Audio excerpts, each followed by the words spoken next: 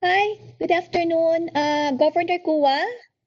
Hello, this is Sheila. I just want to know if you will do the slide transition from your device. Um, hello, Sheila. Uh, is it possible for for someone else to? Yes, definitely, sir. Uh, we, we are willing to do it. However, we need a copy of your PowerPoint presentation. We don't have it yet. According to um, to Carmen, she already um, s- sent the file to us. However, we haven't received it until now. Pwede po Oh. kayang paki-email dun sa you? O, sige. Opo. Can Thank you, sir. Can you dictate the? How can I get your email? Um, actually, you sent me a message uh, just a while ago saying that Uh, you you will be using your iPad. Is that you? Yes. Yes. Yes. Okay. Okay. All yes, right. sir. Thank you. Okay. Thanks a lot. Thank you. Hi, Governor Okay. Cua. Hello. I'm Justine Sicat. It's nice to meet you. Hi. Nice to meet you. Yeah, Uh, I met your parents a long time ago. I think two decades ago. I don't know if they will remember me. I, I send them my regards. tell them. Thank- I'll tell them. Thank you. Okay. So, G- Governor, going back to your to your uh, PowerPoint presentation, in case you need us to uh, go to the next slide, just uh, say next. Will that be okay? Salamat Okay. po. Thank you. I'll send it now. Ha. Salamat. Sure, sir. Thank you.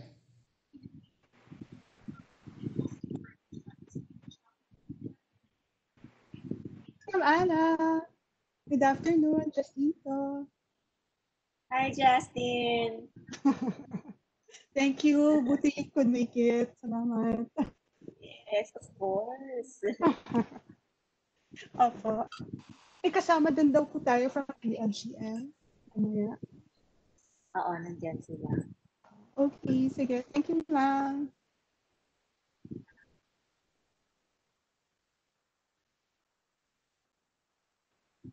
Hello? Hello, Sheila? Hi, Ma'am Ana. Ah, hi, It's Carmen. me, Is that Carmen. you? Hi, Carmen. We haven't did not received. receive the email? I, Hindi pa po. Hindi pa I did Ah, several times. I sent, yes, um, although... so the governor will send it to you? Oo. Okay. Okay. Uh, Hello? we will be uh, on Facebook. We are already on Facebook Live. So, Carmen, we are already on Facebook Live. Hi, okay. Thank you.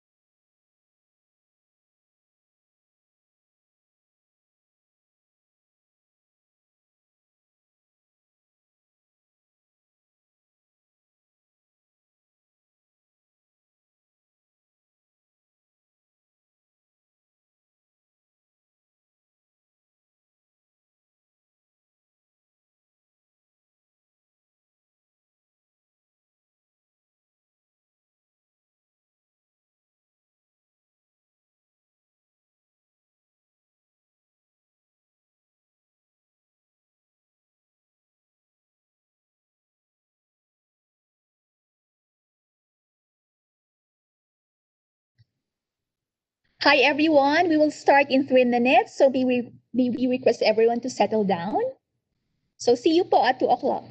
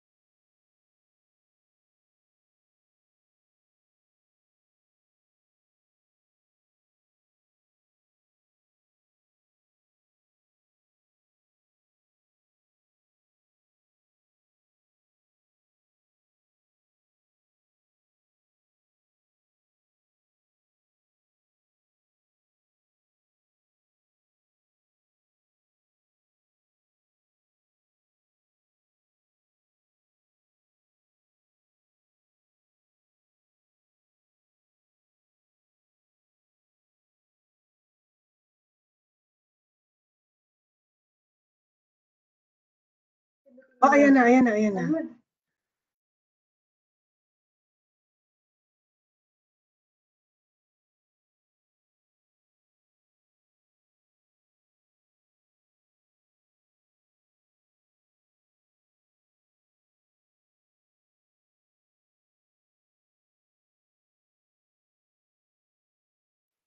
Hi, Justine.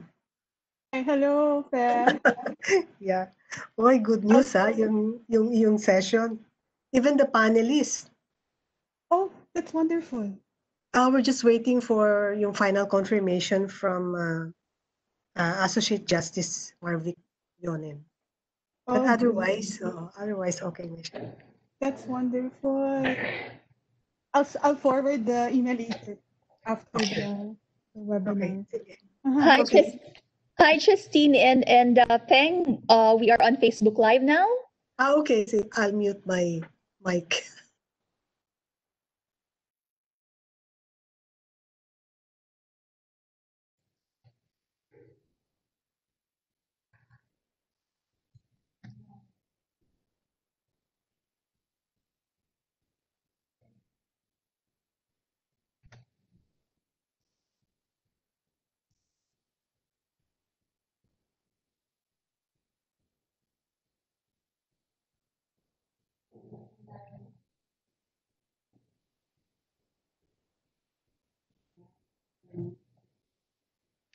Good afternoon, everyone, and welcome to the second of the three-part webinar series on promoting good local governance in the Philippines, jointly organized by the Philippine Institute for Development Studies, or PIDS, and the Department of the Interior, or Interior and Local Government, or DILG. I am Sheila Siar of PIDS, and I will be your moderator. Before we start, may I remind you about our house rules. For all attendees, you may have noticed that your microphone is muted upon entry, and this is to prevent any background noise. This doesn't mean that you cannot join the discussion. Uh, to join the open forum, just use the chat box, which is located at the lower part of the screen. Just type your name and your affiliation and your question, and I will read your question during the open forum. You may type your question uh, and make sure that it's concise because we have limited time. You may type your question uh, while the uh, presentation is in progress or during the open forum. For those who are watching us on uh, Facebook, um, of course, you are very much welcome to, to participate in the discussion. Just use the comment section of Facebook. Again, a warm welcome to all of you, to all our Facebook viewers, and to our uh, participants on WebEx. As I mentioned earlier, we are conducting this webinar in partnership with the DILG. And for this webinar, we will look into the performance incentive program for our LGUs, which seeks to motivate them to perform well and uphold core governance values. And to formally open our event and share her insights about the topic, may I call on the Vice President of uh, PIDS, Dr. Marife Ballesteros. Peng? Yeah, thank you, Sheila. To our colleagues from the government and representatives from the academe, civil society, and the private sector, good afternoon and welcome to this webinar. Uh, this is organized by the PIDS and the Department of Interior and Local Government. This is actually the second of three-part webinar series that features PIDS studies on local governance, performance, and challenges in planning, budgeting, and fund utilization. Uh, this was, these studies were conducted in collaboration with the ILG. In the first uh, webinar series that we held last July 16, the topic was about fiscal and governance gaps among municipalities. For this uh, uh, afternoon, our focus is on how local governance has been improved through the national government's incentives and awards program, such as the Performance Challenge Fund or the PCF, and the Seal of Good Local Governance or the SGLG, which were both uh, implemented by DILG. Uh, the PCF is the performance-based program that provides financial incentives to local governments for attaining a certain level of good governance. While the SGLG is the performance assessment tool used to establish LGU's eligibility to qualify for the PCF. Uh, this uh, system of incentive is, has actually been uh, institutionalized through the enactment of Republic Act 11292 or the Seal of Good Local Government Governance Act of 2019. So this provides us the legal basis for a continuous uh, funding for the program. But more than that, we hope that uh, LGUs will be uh, encouraged to perform better and, and to efficiently deliver better services, aside, of course, from the basic objective of the, the program, which is to align the local uh, development initiatives with our national government. So uh, our, our own, very own PIDS research fellow, Dr. Uh, Justine Diokno-Sicat, will present the results of the study uh, entitled Assessment of the Performance Challenge Fund and the Seal of Good Local Governance from the perspective of uh, municipalities. This study is based on a nationwide survey of municipalities that looked into the usefulness, compliance, and importance of PCF and SGLG to LGUs. We also have invited uh, Quirino Provincial Governor Dakila Cua uh, and World Bank Lead Governance Specialist, Dr. Uh, Lewis Hawke, in this afternoon's webinar as discussants. Uh, welcome, uh, Governor Cua and uh, Dr. Hawke. And uh, may I take also this opportunity to thank DILG and its officials for their continued partnership with PIDS in the conduct of evidence-based research and their support in organizing this webinar series. I would like to acknowledge the presence of uh, Director uh, Anna Bonagua of DILG and the team lead for the DILG SG, SLGP project, uh, Mr. Richard Villacorte. I would also like to acknowledge the presence of our local chief executives. We have several mayors on, online. Mayor Jesus Vargas of Abulog, Cagayan. Mayor Riza Pama, Pama, Pamorada of Alcantara, Romblon. Mayor Milagros uh, Faderanga of, uh, of um, Banton, Romblon. Mayor Nathaniel Escobar of Burgos, Ilocos Sur. Uh, Mayor Virginia Perandos of Carmen, Davao del Norte, Mayor Dean Villa of Larena, Siquijor, Mayor Roberto Uy of Liloy, Zamboanga del Norte, Mayor Cesar Robles of Panganiban, Catanduanes, Mayor Acelas Sac Sacramed of Sanchez Mira, Cagayan, Mayor William Lim of San Narciso, Zambales, Mayor Francis Ong of San Vicente, Camarines Norte, and also we have the Vice Mayor of uh, Libacao, Aklan, Mr. Uh, Vincent Navarrosa, and the Vice Mayor of, of uh, Romblon, uh, Vice Mayor uh, Loy Jorge Fega- Fegalan. So from the government sector, we have uh, Assistant Commissioner Marietta Lorenzo of BIR, USEC uh, Laura Pascua of DBM, uh, Executive Director Mervyn Salazar of CEPO, Provincial Director uh, John Cerezo, and uh, Duel Duarte, the LG Provincial Directors, and Executive Director Thelma Vecina of L- LGA. From the academe, we have Dean Kalina of the DAP Graduate School of Public and Development Management, uh, Dean um, Marik of Cavite State University College of Criminal Justice, Dean Fernandez of the University of Makati's College of Governance and Public Policy.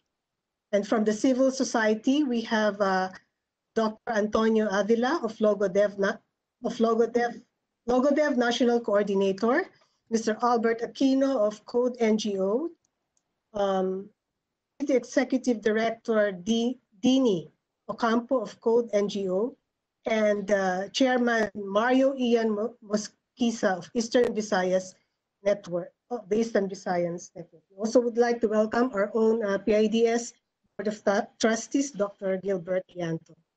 So uh, thank you all for joining us, and we look forward to hearing your insights during the open forum. Back to you, Sheila. Thank you very much, Dr. Ballesteros. Our presenter, Dr. Justin Sicat, is, a, is an assistant professor at the Virata School of Business, University of the Philippines, and currently on secondment at the PIDS as a research fellow. She has a PhD in business administration, is a PhD economics candidate, has two master's degrees, one in management and the other in economics, all from UP Diliman. Her uh, academic and professional experience is focused on the various aspects of the public sector and public policy. Here now is Dr. Justin Sicat for her presentation. Justine? Yes, thank you, Sheila. Good afternoon, everyone. Uh, yeah, thank you. Thank you, Sheila. Good afternoon, everyone. Um, thank you to all those attending here. I'd also like to thank the PIDS RID for organizing this and our moderator, Sheila, as well as the team that um, helped work this out. We've been um, working on this for the past two years. So we have also, I'd like to thank Alma Mariano, Catherine Adaro, uh, Rixie Madawin, Angel Castillo, Lucy Melendez, and also from the DILG, of course, Program Director Richard Villacorte with Director Bonagua, AA Salazar, and Glenn Miranda. So let me go on to the presentation of the results of our study, looking at the Performance Challenge Fund and the Seal of Good Local Governance through the lens of municipal governance. Now, in order to give you a bit of context, this is actually, as mentioned earlier, a continuation of the presentation last July 16, where uh, we presented the results of the baseline study on fiscal and governance gaps in municipalities. So the results of that particular study was based on a survey of 1,373 municipalities, which showed that in 2017, there was at least a 166.9 billion fiscal gap for key infrastructure, municipal roads, primary evacuation centers, and rural health units. In addition to that, the baseline study also tackled the development planning practices of municipalities, and the survey that we conducted pertained to the DILG prescribed planning process. And what we found in that study was that there is a need to update local plans for more than half of the municipalities we surveyed. Uh, we're talking about the comprehensive land use plan, the comprehensive development plan, as well as the local development investment programs. And we also found that there was a need to strengthen the identification, prioritization, and monitoring and evaluation of these investment programs. Now, for today, our presentation will focus on the Performance Challenge Fund and the Seal of Good Local Governance and the perceptions of municipal officials that are involved in the planning team. So my outline would be the definitions, research questions, and objectives, the scope and methodology, the results and findings, and the recommendation. Very, very simple. Now, the Performance Challenge Fund is a performance-based incentive program that gives financial subsidies to local government units that are awarded the Seal of Good Local Governance. It has evolved in coverage and eligibility criteria since its introduction in 2010. The Seal of local, Good Local Governance took the place of the Seal of Good Housekeeping in 2014. It symbolizes integrity and good performance of local governments. It is a progressive performance management system that focuses on LGU capacity, the ability to deliver in terms of system, structure, mechanisms, plans, and budgets. It also focuses on governance principles such as transparency, participation, and accountability. And finally, it focuses on LGU performance in terms of the accomplishment of plans, fund utilization, and frontline service delivery. The recently passed SGLG Act of 2019 now institutionalizes these two programs in the form of still the SGLG, but the SGLG Incentive Fund now replacing the um, Performance Challenge Fund. Now, my research questions and objectives are very simple. How do municipalities perceive the Performance Challenge Fund and the Seal of Good Local Governance? Are there trends in the characteristics or behavior of recipient, non-recipient municipalities? And the objectives, therefore, following the questions are, we are we gathered perceptions of municipal government officials uh, regarding the Performance Challenge Fund and the seal of good local governance. The survey we conducted focused, the, the, the respondents were the municipal planning team, the municipal planning and um, development officer, the municipal engineer, the uh, budget officer or accountant, and a representative from the CSO who was present during the last planning process uh, at that particular municipality. We also plan to profile characteristics of the recipient and non-recipient local governments of the seal. So the methodology, data, and limitations. So we apply a very simple mixed methods approach using descriptive research design, desk review, and analysis. But we use primary data, as I mentioned earlier, from the baseline study survey of municipalities, as well as secondary data from national government sources. So we also depended heavily on the PCF portal, where we got a lot of information as well. Now, the study focuses only on the awareness of the PCF by the planning team the effect of the PCF on drafting local vision mission plans and budgeting, and the perceptions on the success of or challenges with the PCF. So you have to understand that when we conducted the survey with regard to the planning process and whether the municipalities followed the DILG prescribed planning process, we also added a section pertaining to the PCF and its relevance to the planning process as well as the perceptions of the municipal planning team members regarding the PCF and the SGLG. Now, let me give you a timeline of the PCF and the SGLG, as well as its predecessor, the Seal of Good Housekeeping. So please excuse this rather heavy um, slide, but let's focus primarily on the upper quarter of this slide, which looks at the progression of the PCF since its introduction in 2010 until 2013.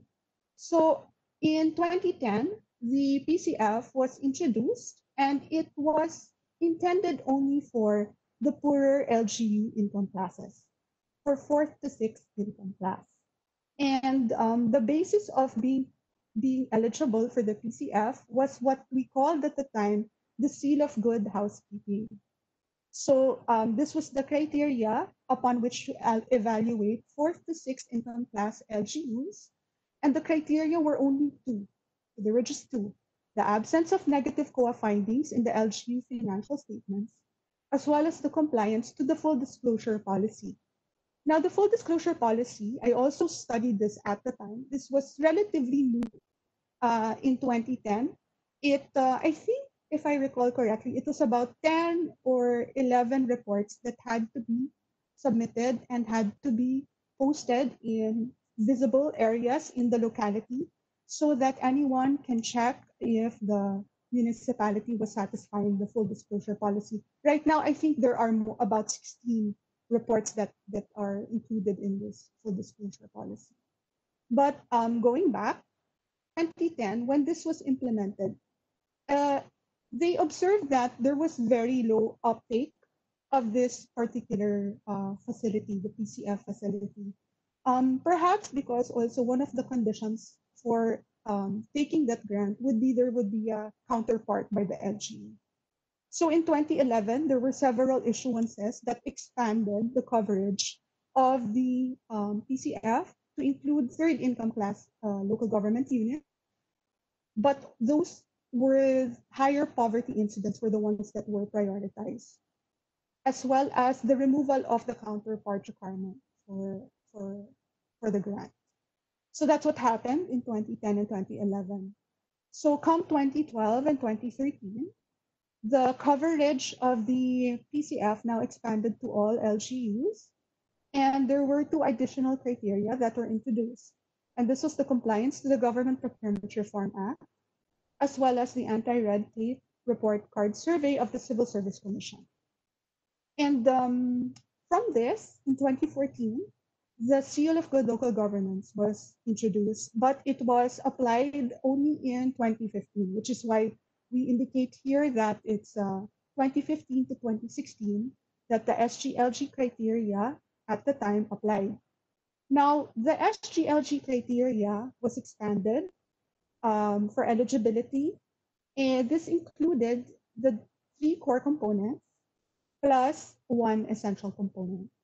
So this means that if an LGU wanted to become eligible or to be awarded a seal, that LGU should satisfy all of the indicators in or the criteria in the three core components, plus choose one essential component. And this was consistent evaluation for 2015 to 2016. So the core components were financial administration, of which some of the earlier, the good uh, seal of good housekeeping became seal of good financial housekeeping, um, were included here. So this was just expanded. There was also disaster preparedness as a core component and social protection. The essential components at the time were peace and order, business friendliness and competitiveness, environmental management, and tourism, culture, and the arts. The, if I recall correctly, this is rather uh, a newer uh, component. Now, in 2017, we take a look here at the lower portion of the slide. The 2017 SGLG criteria progressed, okay, to be needing for satisfying the four four components, core components, which now included and order. And then choosing one essential component from business friendliness, competitiveness, and environmental management, tourism, culture, and the arts. So it now became four plus one. Now, um, as of the writing of the study, which was last year, the SGLG criteria in 2018 and 2019 were all in. So this is the coverage of this particular study up until 2019. Okay. Now, this would give you a brief example of the governance assessment report for the core components, the initial three core components. Now, I will uh, zoom it in a bit. Uh, let me zoom it in. And I'd like to focus. So here we see financial administration, we see disaster preparedness, and then we see social protection. These were the initial three core components. Now, I'd like to spend a bit of time on financial administration criteria number five, which deals with fund utilization or the completion of NGA supported capital investment programs. Under here, we would have 5.1, which is the utilization of the 20% component for e of ERA for development projects. And this is basically the local development fund. So by the local government code, municipalities, all LGUs actually, are mandated to spend at least 20% of the ERA that they receive that year for development projects that are identified primarily in the local development investment programs. And if you were able to listen in to the presentation last July 16, a COA report we cited there showed that the, the in 2016 and 2017, local governments utilized only about 76% of what was mandated to be utilized for the local development fund. Now, why is this a concern? Well, this is this has a huge implication when it comes to development and economic growth in a locality because these development projects have the largest fiscal multiplier. If you spend in your locality on, let's say, building infrastructure, that means you would create the demand for supplies as well as create employment, which would increase the income of your suppliers as well as your um, those who are employed, which would give them more spending power and then further increasing the demand for goods and services. So that's the fiscal multiplier that, that we're talking about here. Now, one of the consistent concerns of the national government oversight agencies really is how to ensure that local governments really do um, fulfill the mandate of spending at least 20% of the component of ERA. Now, as it is right now, the the way that so this is a criteria under that at the under the core component. These criteria in order for you to pass you will be evaluated based on benchmarks. So in the case of 5.1 the benchmarks are differentiated across levels of government. So for example provinces cities and municipalities have different benchmarks for the utilization of the um, development local development fund for you to, to pass. So let's say for provinces in 2019, based on the issuance 2019-44 of the DILG, for provinces, the benchmark is 59%. Um, for cities, it's 55%, and for municipalities, it's 66%. So if the LGUs, the municipality, was able to spend at least 66% of the mandated at least 20%, then they would be considered as passed. So this is um, also a concern, especially because of the anticipated infusion of funds once the Mandanas uh, Supreme Court ruling will be implemented. That means a larger era will be given to local governments. Therefore, a larger proportion of this era must be spent for development projects. So I know that the the SGLG Council and all national government oversight agencies and local governments are trying to figure out how to improve the utilization of this. So that gives us an example of differentiation of the benchmarks of criteria across different levels of LGUs. There are also examples of the differentiation of the benchmarks across income classes within a level of LGU. And what do I mean by this? If we take a look at disaster preparedness, there is the requirement that there should be a disaster risk reduction and management officer.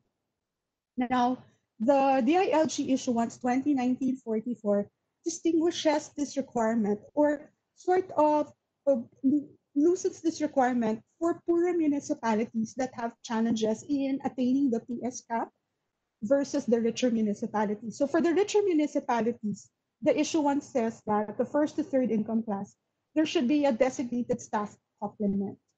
So for the poorer municipalities, the it could be a head or a plantilla trained. So that would be fine. So they they loosened it. So there are criteria that are across the board the same criteria, but the benchmarks are what varies when it comes to, for sometimes level of government or for sometimes uh, income class within a level of government. So um, thank you. Now, this next slide shows the PCF statistics. Uh, the line, the blue line, would show just the budget, um, the allocation that the SGLG has received in the past uh, nine years. And as you can see here, since 2015, it's relatively received about a billion pesos in the budget for every year. Now, the column here is not monetary value, but it is the number of LGU recipients of the PCF. So in the earlier years of the PCF that were based on the seal of good housekeeping, the, you can see here a, a sharp increase in the number of um, awarded, those awarded, and those uh, beneficiaries of the PCF program. However, when you see that, uh, as I mentioned earlier, in 2014, there was a shift to the SGLG, which was applied in the assessment in 2015. So 2015 and 2016, as I mentioned earlier, the criteria of 3 plus 1 was relatively consistent. But the, the in 2017, it now became uh, 4 plus 1. And in 2018, it was now all in. So the numbers decreased in 2018. Uh, although in 2019, if you take a look at the updated figures, it increased slightly to about 300. So this is just to give you a picture of the budgetary um, uh, complement given for this, for the SGLG, as well as the recipients. Now, what are the existing studies on the PCF? Well, back in 2012, World Bank and USAID conducted a rapid assessment of the, uh, in 20, of the 2011 SGH and PCF program. And they found that while LGUs appreciated the financial assistance from the PCF, the potential benefits were likely weakened by the ineffective communication and information dissemination. Um, Medina Guce more recently, this is STAR, found that overall LGU performance improved 2014 to 2016 when LGUs were assessed with relatively the same criteria, which is why I highlighted that earlier. However, among the levels of government, there were different trends. There was a downward trend of provincial, municipal, and highly urbanized performance, and an upward trend for component and independent component cities. And she attributed this to differences in the level of difficulty of the assessment criteria for LGU type. She also observed that there are differences in general learning retention ability among local government levels, The observation was because, um, as I showed also, there are some that that win LGUs would win one year and then would not win the award the next year. So there is inconsistent behavior as well there. If you would like to read more on this, I think you can take a look at this, this paper by uh, Medina Guce, 2019. Now to present the results of the baseline study survey, we have here, we ask the question, does SGLG criteria affect the municipal vision, goals, and policies? Because this is the second step in the development planning process as prescribed by the DILG to review the vision, the goals, and the policies of your LGU. And for this, about 73% of the recipients claim that the seal of good local governance criteria did affect the vision and policy options, goals, and objectives. About 8.4% claimed existing vision policy options, objectives, and priorities were already aligned. However, another 8.6% said that they have other priorities or standards, and they respond more to the needs of constituents and sometimes considered the criteria to be irrelevant. Now, this is very interesting. This shows you the profile of the seal passers and non-passers. And let me explain to you first what these are. So in the stacked column, the blue color represents the proportion of municipal passers in the region. So they're grouped by region here. And the orange, yellow, orange part of the stacked column would be the non-passers, the proportion of municipalities that are non-passers in the region. So as you can see here, it's ranked from CAR, Region 1, from left to right, okay? CAR, Region 1, all the way to Caraga, and to the NCR here. Now, in the NCR, it's quite unique because there is only one municipality, uh, and it has, according to our study, uh, the results, it's never received the seal of uh, good local governance. Um, so let's highlight first the regions that have the highest or the largest proportion of non-passers. More than a third of their municipalities have not ever received the seal. These are the Bicol Central and Eastern Visayas regions. So you take a look here. This is Region 5. 40% of the municipalities in Region 5 have not received the seal of good local governance. In Region 8, 64% have not received the seal of good local governance. And in Region 7, 34% have not received the seal of good local governance. If we want to use 30% as our benchmark or just a little bit below a third, we can also add here Region 9. So Region 9 had uh, about 30% of uh, their municipalities not ever receiving the seal. Now, we also grouped or profiled the passers and non-passers by income class. So there are six income classes, and the stacked columns are still defined the same. So the green part of the stacked column would be the SGLG passers. So the proportion of first-class municipalities that have received at least once the um, seal. The orange, yellow, orange part would be the proportion of municipalities that have not received since the the seal was uh, since the PCF was introduced in 2010. So as you can see here, so it's ranked first to sixth. Okay, the poorer ones are the fourth to the sixth. And if you can notice here, there is it's for the fifth and sixth income classes that there is more than a third of the proportion of municipalities that have not received uh, the seal.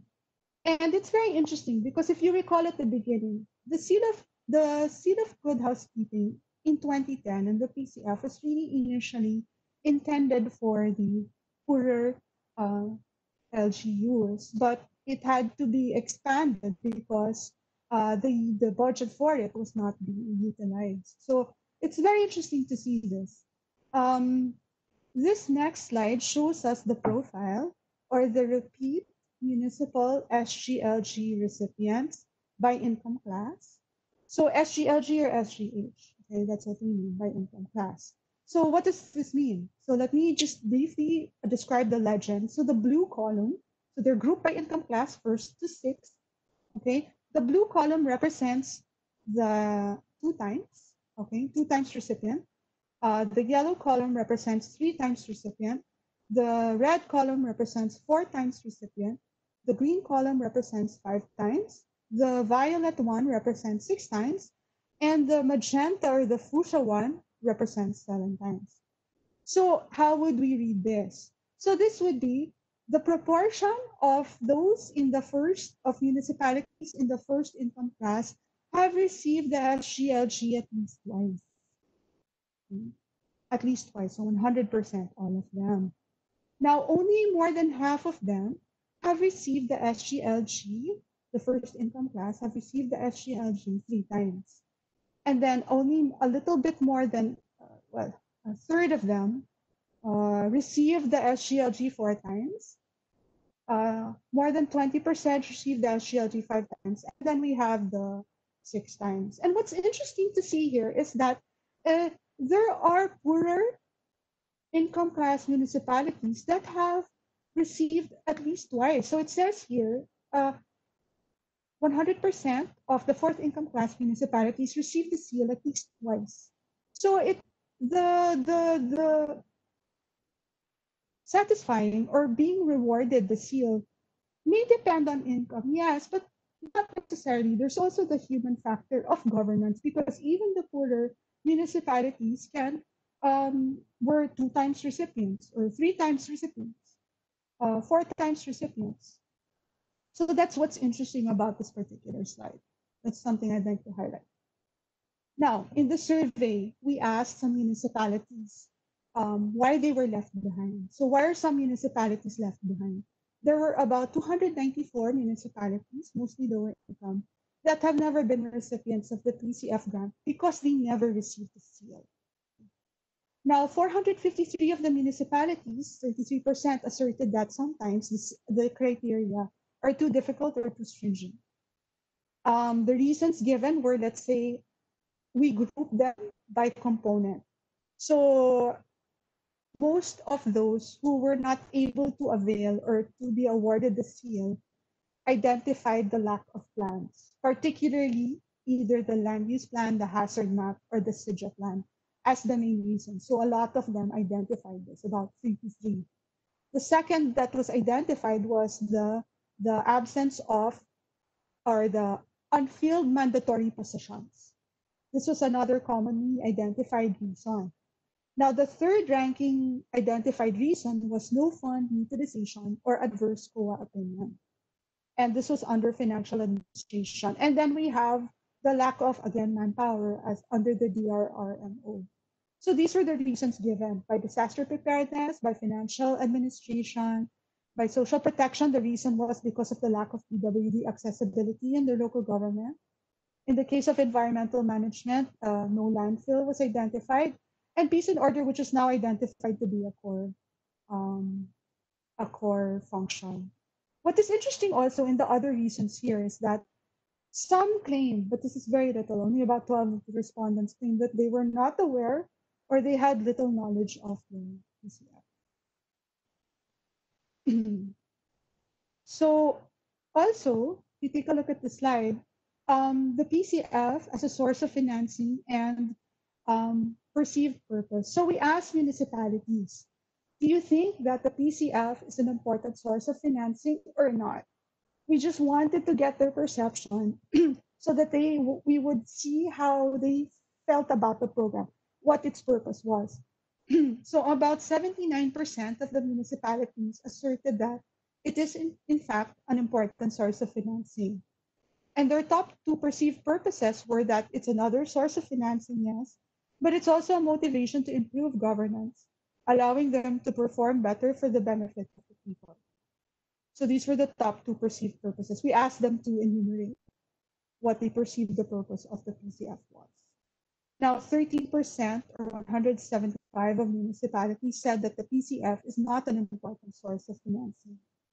And the top reason cited by these LGUs was that first, the grant is too small. And this would happen when, as I mentioned earlier, if you have a fixed cap and you have an increasing number of LGUs that satisfy or get the seal or become eligible. Of course, dividing it across a larger number would reduce the, the amount received per uh, awardee. So the second top reason identified by LGUs, well, they claim that the standards criteria are too stringent. And there are some also that surprisingly think that the PCF does not apply to low-class municipalities. The remaining 8% or the 103 municipalities did not give an answer. Okay, so a summary of the findings with regard to the evolution of the PCF and the SGLG. So there is evident desire to improve and progress the implementation and the design of the PCF, the seal of good housekeeping and the seal of good local governance, as was identified earlier. But there's also a challenge in balancing incentivizing poor LGUs, but ensuring also the utilization of the facility. And this was done um, by relaxing some preconditions, meaning we included um, richer uh, LGUs as in the coverage and removing the counterpart requirement. Second, we also learned that there was uh, continuing improvements in transparency, accountability, and local governance by adding additional criteria in performance evaluation, but also considering the varied capacity of LGUs to comply.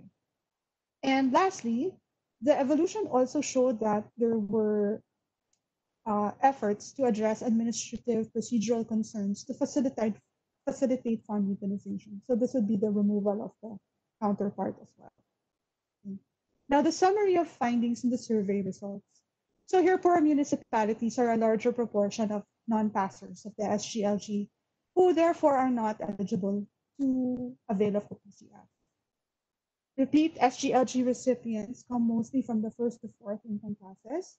So it's the poorer ones, uh, again, who are mm, non uh, have fewer repeat SGLG or fewer repeat SGLG recipients. Uh, Bicol, Eastern Visayas, and Central Visayas regions have more than 30% of the municipalities as non-passers of the SGLG. And the lack of plans, such as the DRR, the CIDRA, or CDP, were identified as one of the main reasons for not passing. And this is very interesting because the results of the baseline study, which I presented last uh, two weeks ago, July 16, also found that although the claim was that there were CDPs present for municipalities, there were only about 40% of those who said yes that were updated. For the LDIP, there were less than 30% that were updated. And for the CLUPs, there were just about 5% of those who said that they had the CLUPs that were updated. So this is consistent with the, with the, findings here. Okay. What are the recommended uh, recommendations? There's the objectives of the program. The institutionalization of these programs in the SGLG Act of 2019 is the opportune time to consider other aims and rethink the incentive structure of this particular program. Clearly, the overall objective is to recognize good LGU performance, but is it to reward the best or be an aspiration? Then progressively adding criteria or increasing benchmarks would satisfy this. This would be the way to go if you only want to reward the best of the best. But if you want to ensure that no LGU is left behind in terms of governance, then there should also be focus on LGUs that have never received the SGLG. Uh, perhaps, although I leave this up to the policymakers, part of the fund could be allocated specifically for the laggard LGUs, though of course we have to carefully balance the disincentive effects of such. Um, there should be an exit strategy or a sunset clause or a limitation up until when these LGUs would be um, assisted or handheld, um, as in any of the targeted programs of the national government. Now, recommendations in terms of incentivizing and institutionalization of this program. So in incentivizing performance, the current design um, translates into a smaller grant amount per recipient with an increase in the number of passers because of a fixed budget. 1 billion divided by a decreasing amount, uh, number of recipients would give you smaller grants per recipient. Now, at the same time, there is, an, there is evidence of a larger proportion of ineligible LGUs being poorer and more predominant in certain regions. And this would ex suggest expanding the differentiation of criteria or benchmarks for these LGUs. So like the example I gave earlier in the case of DRR, there were considerations given for poorer LG uh, municipalities versus richer municipalities. So the SGLG Council could also perhaps consider this as they are drafting the um, implementing rules and regulations for this particular law. Now, another concern is the inconsistent performance of SGLG recipients. Um, once, sometimes they, they receive the award, sometimes they not, because this could be because of the claims that some LGUs do not know of the facility or have different priorities. So information campaigns must be considered by this SGLG Council to institutionalize this. But this is actually a very interesting result. Part of our baseline study also, we asked regarding the, the planning officer of each of the municipality, the extent of their service or how long they were in service as a planning officer. And the results show that on the average, the planning officer has been there for 13 years on average. So it's not, it may not necessarily be institutional memory regarding the PCF or the SGLG. That might be the challenge. There could be other things at play. Um, for example, in Region 9, they have the longest um, average of service of the planning officer to be almost 16 years. Okay. But if you can recall earlier, I showed you that up 30% of municipalities in Region 9 are non-passers. So there's something else at play with regard to this. Maybe they need to improve their technical capacity or needs to be capacity training. While as in Region 12, um, this has the shortest uh, length, average length of um, uh, planning officer being in that position. And this is at the average 11 years in Region 12. But they have only 7% of their municipalities that are non-passers. So, so there, there, it seems that if you base it on the extent of the length of service in office of the planning officer, there should be some institutional recall um, for this PCF and the SGLG program. Now, finally, on the last slide, recommendations regarding capacity building. Uh, it's it's nice and good to know that Section 13 of the SGLG Act says that concerned national government agencies should provide technical assistance for capacity building for identified gaps of LGUs which have not qualified for the SGLG award. So again, there is now focus again for those who have not qualified for the SGLG award. Now, another study I presented last Thursday was that uh, looking at the local government planning and budget framework, is that the DILG along with the NEDA, they have this uh, program that offers capacity building in identifying outcome indicators to be aligned with your development, local development plans, and how to manifest this into physical projects and programs. So that could be something that could be tapped also for this. Now, uh, word. So here, these capacity building programs should not just create awareness and concrete steps to addressing the identified gaps, but also highlight the importance of the objective of continuously improved governance and its link to the development of the LGU over and above the perceived difficulty in receiving the seal. So uh, that's it for me. Thank you very much. Thank you very much, Justine, for your presentation and to give their perspectives on the issues uh, discussed by Dr. Sicat. We invited uh, two experts, and they will comment on their um, studies findings and recommendations, and they will also share their insights on how we could probably improve the design and implementation of uh, the SGLG and the PCF. And our first discussant is uh, the governor of the province of Quirino, Ensuring his stint as congressman, he was the chairman of the House Committees on Ecology and Ways and Means, as well as the senior vice chairperson of the House Committees on Appropriations, Economic Affairs, and Constitutional Amendments. His advocacies include health and education, infrastructure, agriculture, and livelihood. As a legislator, he was uh, uh, the principal author, one of the principal authors of the Train Law and author of the Rice Tariffication Law. Ease of Doing Business Act and the Philippine Competition Law. Recently, he was elected as the national chairman of the League of Provinces of the Philippines and the national president of the Union of Local Authorities of the Philippines. Um, the Union of Local Authorities of the Philippines, or ULAP, is the umbrella organization of all leagues of local government units and elected local officials in the country. Friends, here now is Governor Dakila Cua. Governor? And um, I'd like to thank the organizers and, of course, uh, um, Ms. Justine Sicat for a very comprehensive study evaluation. Um, today, I will be sharing the Quirino experience. Uh, what ano yung mga naging uh, uh, experience na aming probinsya uh, about the SGLG. We can move to the next slide, please. Ah, gusto ko rin lang batiin lahat ng mga local officials dito.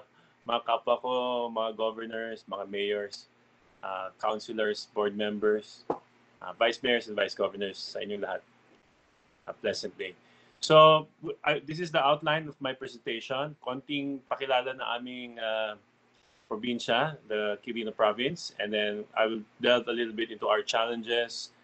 Um, and then, of course, number three is our SGLG and our Performance Challenge Fund experience. Number four is our reflection, uh, our brief reflection on the study of uh, Ms. Sicat and the team.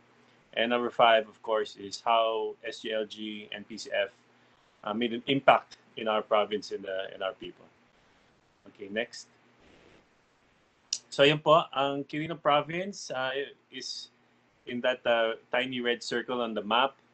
Um, our income class is third class. Our population on the last census of 2015 was 192,000. Um, it's a little over 200,000 today. The number of households back then was 46,000, which is around uh, 60,000 today. And the total land area is about 3,000 square kilometers. Our ERA share in 2016 was about 700 million, about almost 800 in 2017. And just uh, this year was the first time we breached the 1 billion mark. So, as an important note about uh, Quirino province is it is an important headwater or watershed of the Cagayan River, which emanates from Quirino and regarded as one of the most important watershed havens in Region 2. Next. Okay, so these are our challenges. Um, very simply put, um, quite limited livelihood options. Um, Quirino in the map shown earlier is landlocked, and therefore there is no um, sea fishing in our province. So it's it's uh, freshwater fishing, um, agriculture, livestock, etc. And then we have very limited uh, market linkage. Our province is not traversed by by the Pan Philippine Highway, and therefore uh, linkage is quite a challenge. Um, there are unsustainable upland uh, or mountain agricultural practices, which is a problem in our environmental management um, challenge. And then uh, farm to market roads and ecotourism roads is still something that we keep and continually work on. And uh, high poverty incidence uh, in general is one of the challenges. Next. Okay, so the Quirino province consistently passed the seal of good housekeeping from 2010 to 13 and the seal of good local governance or SGLG from 2014 to 18. So yun po yung, we proudly display that in the entrance of our capital. Next, please. Okay, so um, this is our SGLG operational platform as according to Republic Act 11292 or the new law that um, that institutionalizes SGLG. So you will see there that um, these are the components that uh, that we are. Uh, these are the core components and essential components that we are um, um, putting focus on. So social protection, disaster preparedness, business friendliness and competitiveness, peace and order, environmental management, and of course, tourism is our one of one of our economic drivers.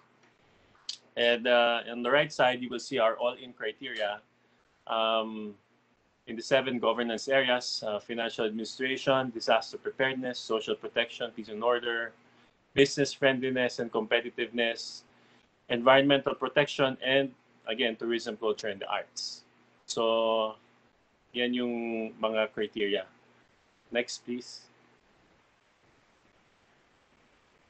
So, paano ba namin na-achieve? Um, I have to give credit where credit is due, and most of these achievements are due to the past governor who shares my last name, who is my father, and the team that continues to help me today. So the same team continues to help me today in uh, in trying to maintain this performance. So they we have a good, a very good planning team. Um, we have constant guidance and encouragement and collaboration with the DILG.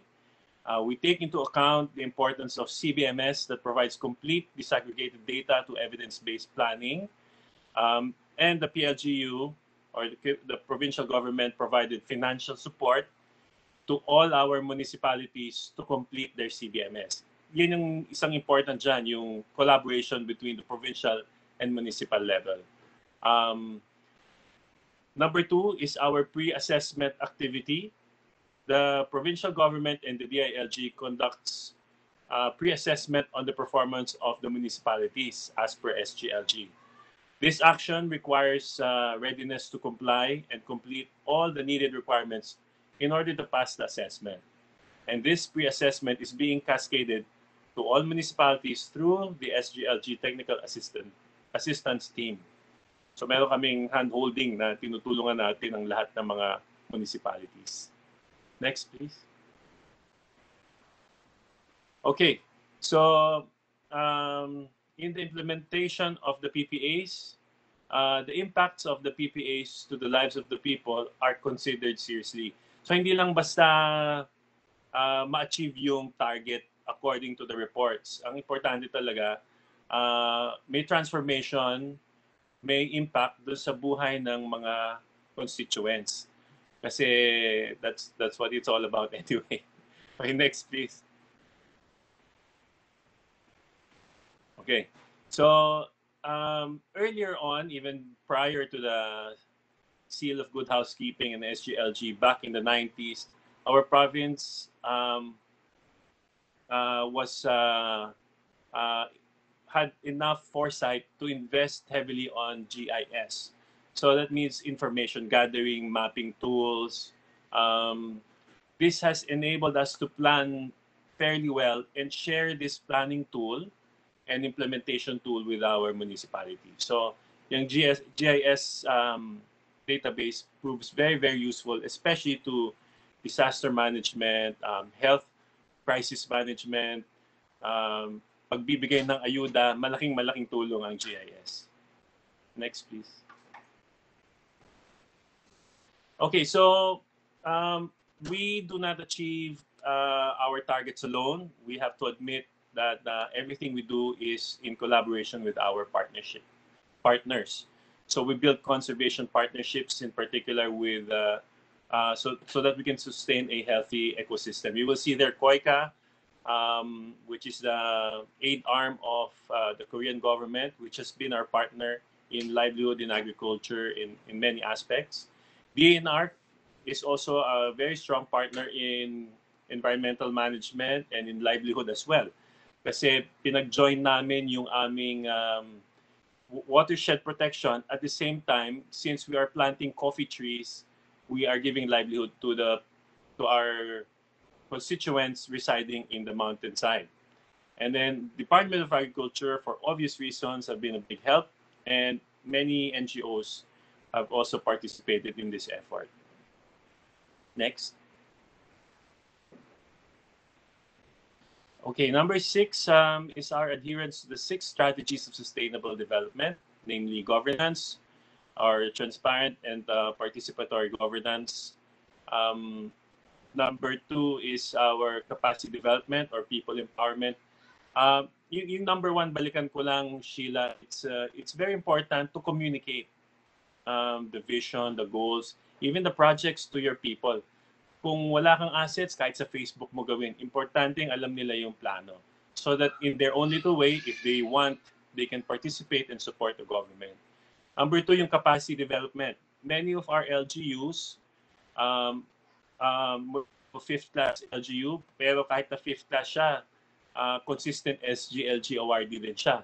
So we are helping them out because we want them also to kasi kailangan din namin silang pumasa para pumasa rin kami, di ba? Obviously. But but more than that, um, it's really a united effort. No? So minsan kasi you will see uh, fifth or sixth class municipalities uh, nahihirapan dun sa mga technical plans na sinabi ni Justine.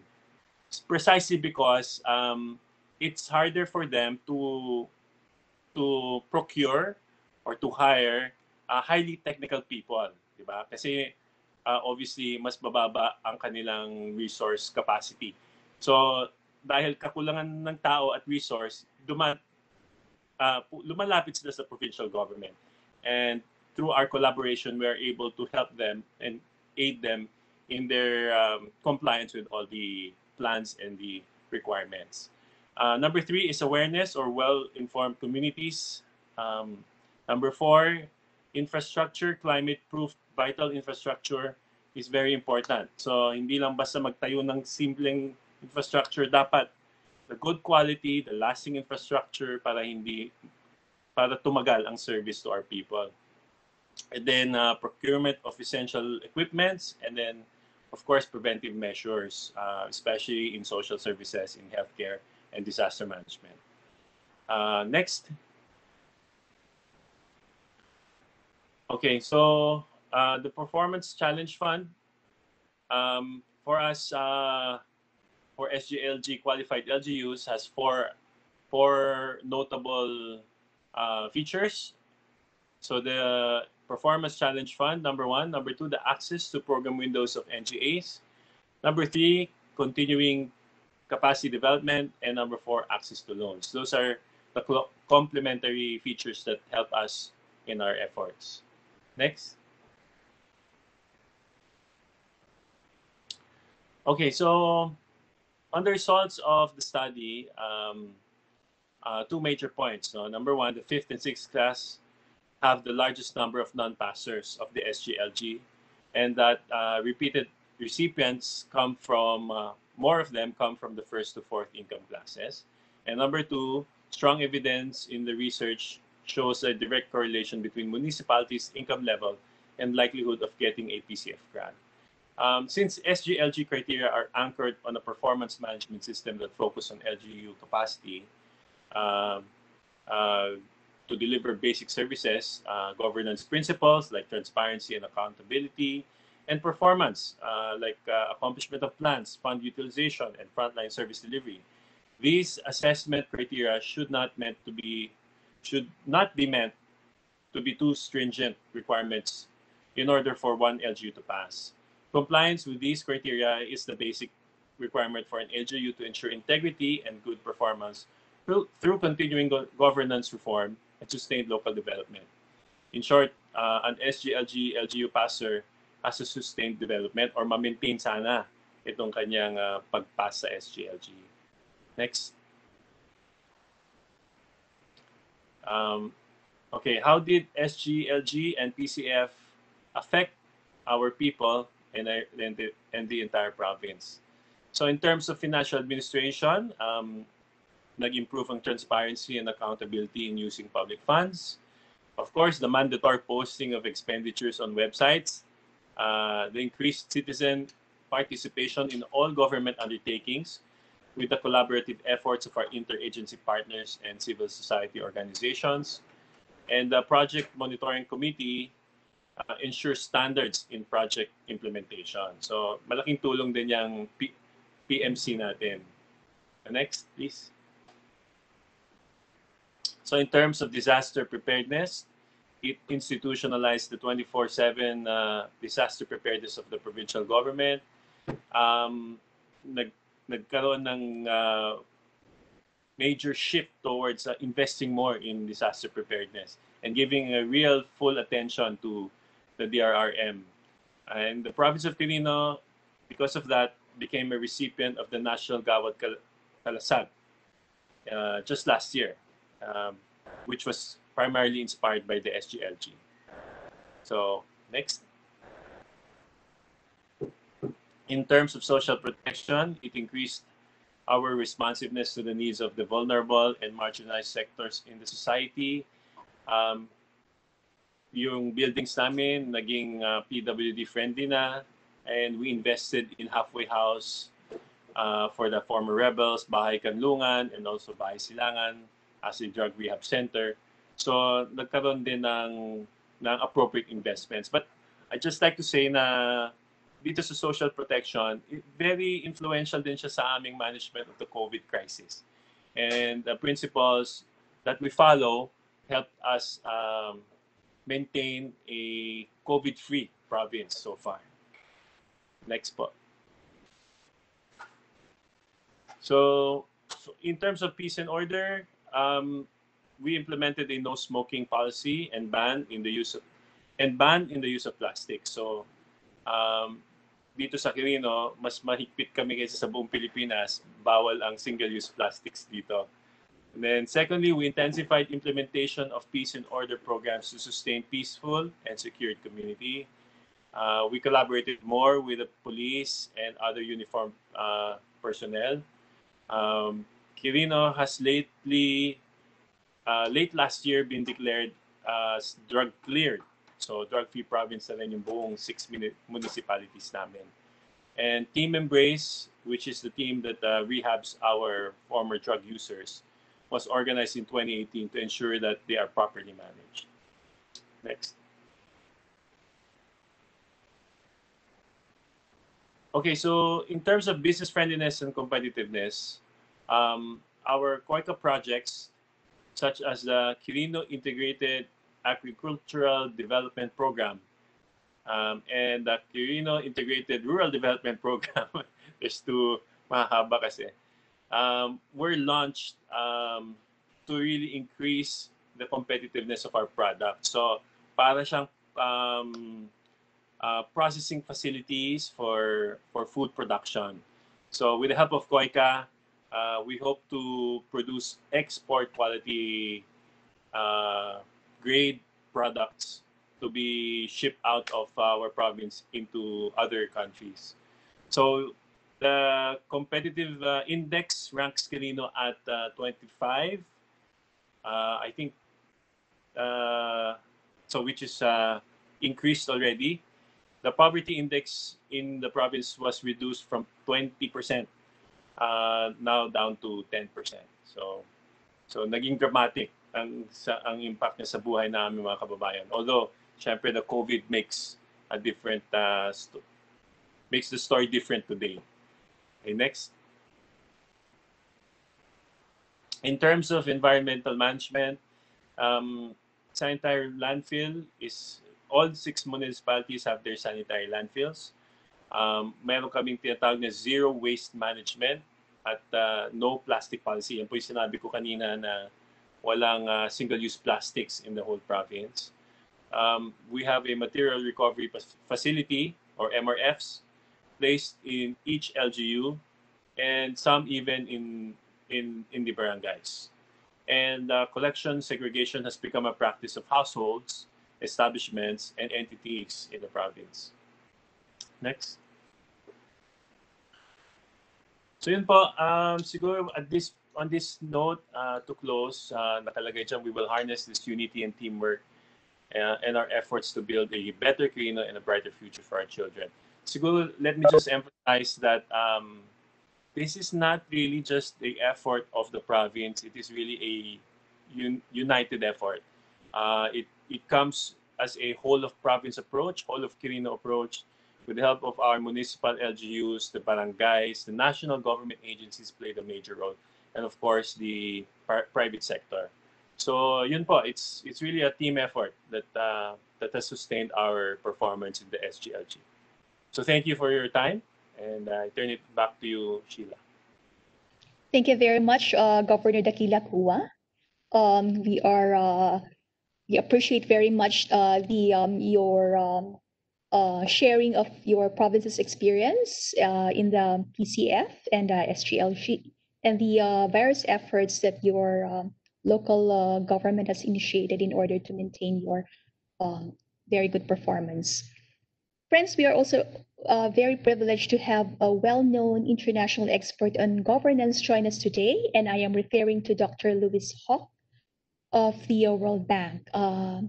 Lewis has been based in Manila since uh, the early 2018 after four years as head of the Public Expenditure and Financial Accountability Secretariat, a global initiative for assessing and strengthening public financial management performance. He worked at the World Bank for more than a decade in uh, the US, in Europe, and in Central Asia. And prior to joining the bank, he was an independent uh, consultant supporting governments in the Philippines, Vietnam, Indonesia, and other Southeast Asian countries to strengthen their uh, public financial management arrangements. He was a senior ex- uh, executive in the Australian Government Department of Finance and uh, UK Treasury for more than 20 years, where he contributed to leading edge developments such as accrual and performance budgeting, privatization, public agency governance, uh, service quality, integrated reporting, and public sector accountability. Here now is uh, Dr. Lewis Hawke of the World Bank. Lewis? Hi, Sheila. Thanks very much. Uh, that's uh, very interesting presentations from the two previous speakers. Unfortunately, I don't have a presentation, but I do have a set that uh, on the on my comments that people can have access to if they want to. And I'll just uh, I, I hopefully I won't take too long because I'm very interested in the discussion because we have so many uh, very uh, experienced and knowledgeable people online, and I think uh, that that will be the richest part of our uh, afternoon. So um, I guess the first thing I wanted to note is that this is uh, the, the work of the PIDS on um, local government is very interesting to the World Bank. Uh, it's something we activity on in the past in the Philippines, although we have done a few reports, as uh, Justine mentioned, um, and we are now involved in the in Mindanao quite heavily. But uh, I think uh, the the Seal of Good Local Governance and the Performance Challenge Fund are very interesting because there are not many countries who have similar um, approaches in other countries. There are lots of performance-based grant programs, but not ones that are necessarily based on pre-qualification for good local governance. Uh, and that I think is one of the unique and interesting things about the Philippines that few other countries have in place. Uh, I think that the survey that was done by PIDS and the DILG is very interesting, and I'm sure just from the research that's been uh, published so far, there's a very rich database that people will be able to draw on, both from the academic um, and uh, public sector areas, which I think will be very useful. Uh, and I and I think from uh, our perspective, the World Bank perspective, having that good uh, basis for uh, analytics and uh, evaluation is very important. And I think that's probably one of the things that one of the um, unmentioned benefits of having the uh, seal of good local governance is that it actually produces an enormous amount of useful data and uh, which can be used for policy making and for analysis. Um, I think one of the, the things that I found most interesting about uh, what Justine was talking about is that it shows uh, the uh, what, what's happened over the lifetime of this approach to improving governance and performance uh, in local government. And what can happen if you change things like eligibility uh, conditions and the procedures for um, what uh, people have to perform to actually get access to the grants, and also on the impact of having controls on the amount of money available if the number of uh, participants increases. Uh, I think one of the things that doesn't come through um, in the paper or in the presentation, although Justine uh, did mention that uh, that maybe the eligibility criteria is a factor. But uh, I- it would be very interesting if looking back on her slide 16 to understand what happened to those who were using the scheme in 2013 and 2017, but they didn't use it in 2014 and 2018 because that those uh, two drop-off points were quite crucial in terms of the the coverage and effectiveness of the scheme. And I think uh, you could get quite a lot of uh, useful information by looking back um, on on not so much the people who were uh, successful, but the ones who either didn't apply or who weren't successful. I think the one of the interesting things that uh, Justine focused on was the observation about the differential incidence across the regions and income levels. I think uh, this uh, this is it, it's it's very useful information, but I guess it's it's pro- it's problematic from a perspective because uh, if you're looking at equity, fairness, and uh, equality across the regions, the kind of results that are coming through in terms of you know the greater success of the higher income regions and um, the consistent failure of some regions to qualify and, and even some who don't even know about the policy is a concern. And I think even, uh, especially after being in place for 10 years, this is something that uh, really needs um, closer attention to find out what are the reasons for, for these things.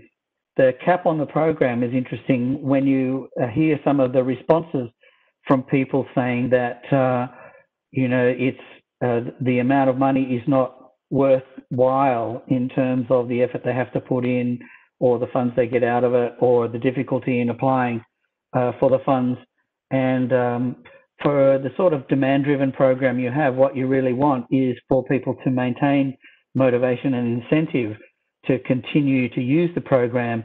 But if more people qualify, then less people get access. And I think that's something that really needs to be considered in the design of the program in the future. Should it be more uh, open-ended? Should it uh, change to maybe partial grants, partial loans?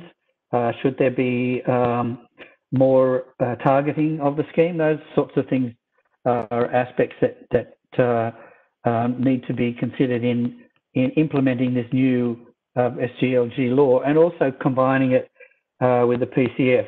I think um, one of the things that shows up in the changes over time is it makes you think that perhaps the the policy objectives of government have changed over the last 10 years because the eligibility criteria have changed. Maybe they've been tightened up to some extent, um, especially in the move from the seal of good housekeeping to the seal of good local governance.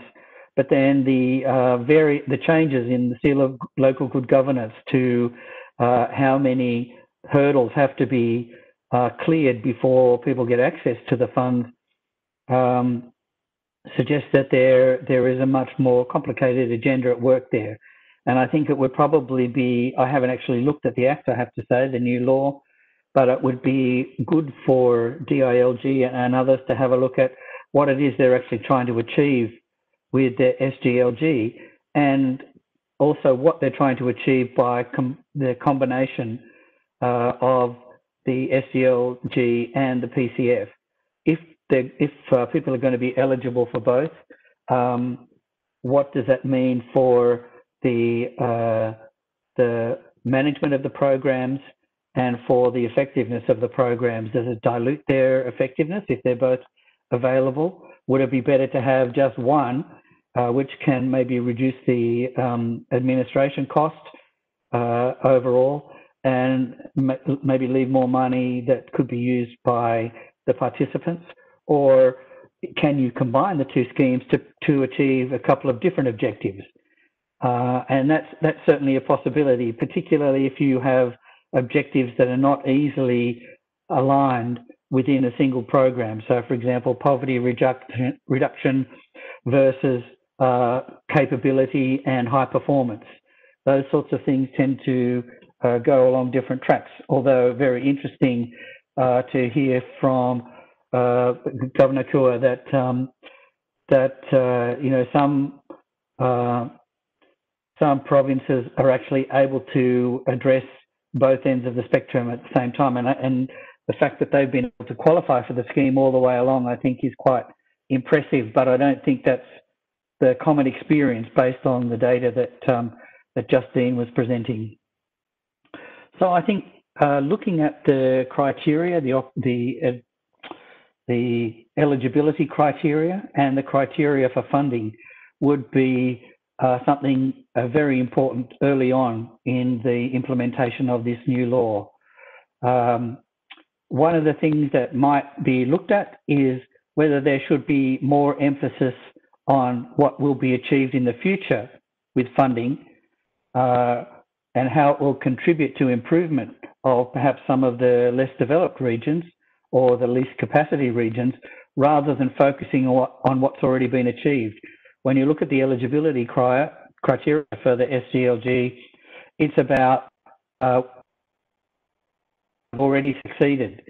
And um, while that's an important thing to uh, encourage and to motivate and, and reward, I think uh, if you're looking for um, more balanced development across the country, then you also want to look out look at the potential returns on investment. So, which areas might benefit most from the grants, and which ones might be the ones who will be uh, best um, uh, best affected, or where the people will be better off as a result of the funding.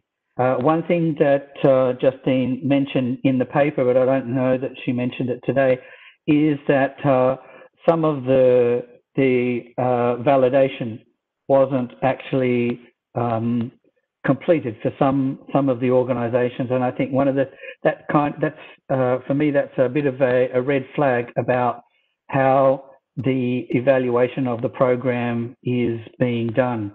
Um, although there's a lot of data on whether uh, the municipalities and provinces and cities uh, meet the objectives of the of the criteria, are they actually what, what's the value of the projects that they're implementing uh, with the funds that are available from the PCF and in future what will be from the, the new SGLG fund.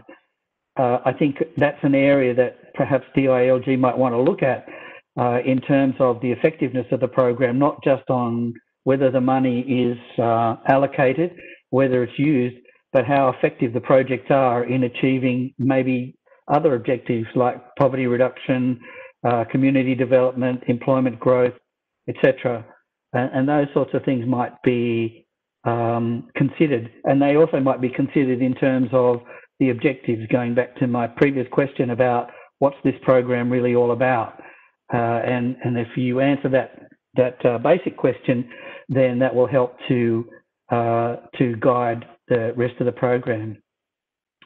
Uh, one other thing that I wanted to mention is that the, the these programs are not um, uh, working in a vacuum. There are a lot of other things being done by DILG and other ministries, uh, other departments, at national departments, and also at the provincial and local level that are uh, and also obviously international development partners like Korea um, and the World Bank that uh, that that are also need to be considered in the mix. And so, um, looking at SGLG and PCF in isolation uh, could be a bit misleading because you can look at say maybe maybe it's benefit areas and less beneficial to others, but does it reinforce existing uh, disparities uh, in which case what might result from these uh, these kind of programs is that they will actually reduce equality over time.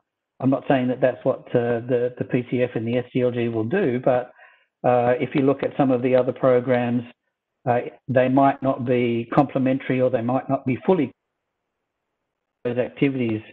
Um, one of the things that I found interesting about uh, the from from PIDS is that sometimes the PCF has been combined with other programs like the 4Ps program and disaster preparedness in uh, times when maybe the funds haven't been used fully for their original intended purpose. But uh, that's kind of been a one-off, and it's it seems a bit weird to me that the you know why did that happen? Why, why were they used for those purposes at that time? Was that part of the original intention that they should be filling the gaps in other programs, or is this just something that uh, was uh, sort of serendipitous because at the time there was extra money in DILG budget that wasn't being fully utilised that could have been better used elsewhere. Um, also, I'm a bit concerned that there are other activities in other uh, uh, departments, uh, national departments, that haven't been linked. Um, I can I can remember in the DBM, for example, there's this really cool um, assessment toolbox for local governments, which was established in about 2012, which kind of aligns with the timing of the um, the good housekeeping and uh, good local governance uh, issues, but uh, but they don't seem to be aligned. The, for example, the, the financial management aspects of the PFM assessment toolkit are very detailed, uh, but quite different to the kind of criteria that are applying on financial management for the the uh, SGLG and the the seal of good housekeeping. And uh, I think it would be a good idea if there was a bit of a, a, a stock take of the existing programs that are relevant to the effectiveness of DILG's programs and to make sure that they were consistent across the board. And that's not just with DBM, but things like the health and education sectors as well and transport sectors. Um, but the other thing about these programs is that they all have their own eligibility criteria, their own reporting requirements, and other obligations, which is an, an, extra administrative burden for local governments, which are already stretched in terms of their administrative capability. And I think that's a holistic way. Um, so I, I think I, probably will leave it there in terms of comments on the overall uh, issues of this paper. But I think uh, one thing that Governor Cua was mentioning uh, that is kind of the elephant in the room, uh, and also that uh, Justine mentioned is another elephant, big elephant in the room, are the implications of COVID-19 pandemic and the Supreme Court ruling on Mandanas versus Ochoa. Uh, and those two things, I think, have enormous implications for the effectiveness of these programs and also for the success of local government. Okay, and so that's it from me, and I'll um, I'll hand back to you now. Thanks very much. Thank you very much, Lewis. Um, okay, before we proceed uh, to the uh, open forum, um, I would like to get the um, maybe get the reaction, the response of uh, Dr. Sicat to the comments of our discussants, and then later on, I will also ask um, our um, friends from the DILG, Director uh, Bonagua, and our friends from uh, the DLGS to also give their uh, reactions to the comments of, particularly on the comments of, of Lewis. Justine, please. So thank you, Sheila. Thank you, Lewis and Governor Cua for your responses. very extensive. it's nice to hear about the collaboration, the, the strong collaboration among municipalities with the provincial government in uh, Quirino. This is one of the, actually one of the focus areas of our APPC conference in 2020, enhanced uh, collaboration across LGUs. Um, uh, I also noted that you you indicated that it's the, the criteria should not meant to be too stringent to be able to maintain sustained uh, development. So so that's also a very interesting because uh, uh, concept because we also received that feedback from the LGUs. Uh, at the same time, I think that's perhaps why it would be nice also to have differentiated uh, benchmarks or criteria across the different um, uh, components, core components of the SGLG moving forward. But this would be for the DILG to really consider how they would be, be able to, to draft this. And it's nice to know that the Seal of Good Local Governance components have also sprouted programs within your province that that um, have been sustained uh, with regard to social protection, peace and order, and all this. Um, now, for congratulations on the reduction in poverty incidence as well. Now, for Lewis's comments, uh, very lengthy. Thank you for sharing also your your comments with me ahead of time. I'd just like to focus perhaps on the on your discussion of uh, the importance to be able to to match the objective of this moving forward of the SGLG uh, moving forward and its design and incentivizing. I absolutely agree with you on that. That was also one of our recommendations that the SGLG must council must think is it to award the best of the best or is it to, to address the the concerns of those who never in fact won not to leave any municipality behind and once that objective becomes clear it could be any combination one or the other or a combination of both but once that is clear that would also help try and design the the incentive scheme um, and your suggestions regarding the the different possible ways. Would it be more loans or would it open-ended budgeting or would it, be, would it be more targeted?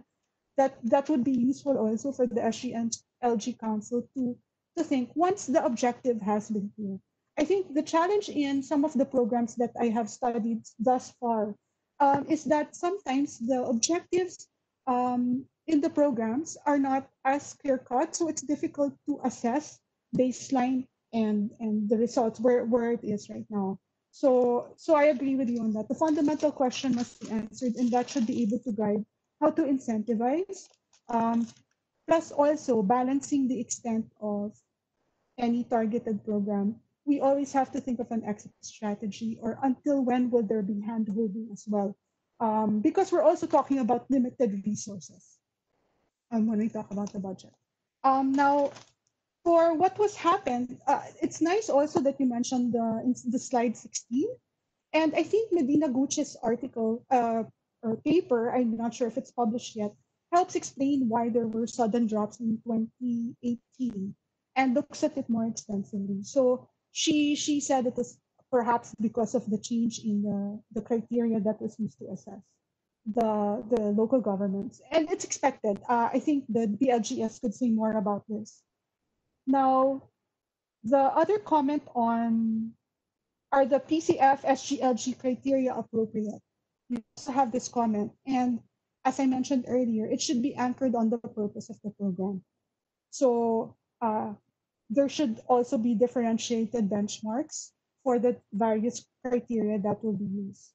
Now, with respect to to the others, like the use of the PCF and its alignment. You said that it's not in a vacuum. It's SGLG and the PCF happens with all other programs, national government programs.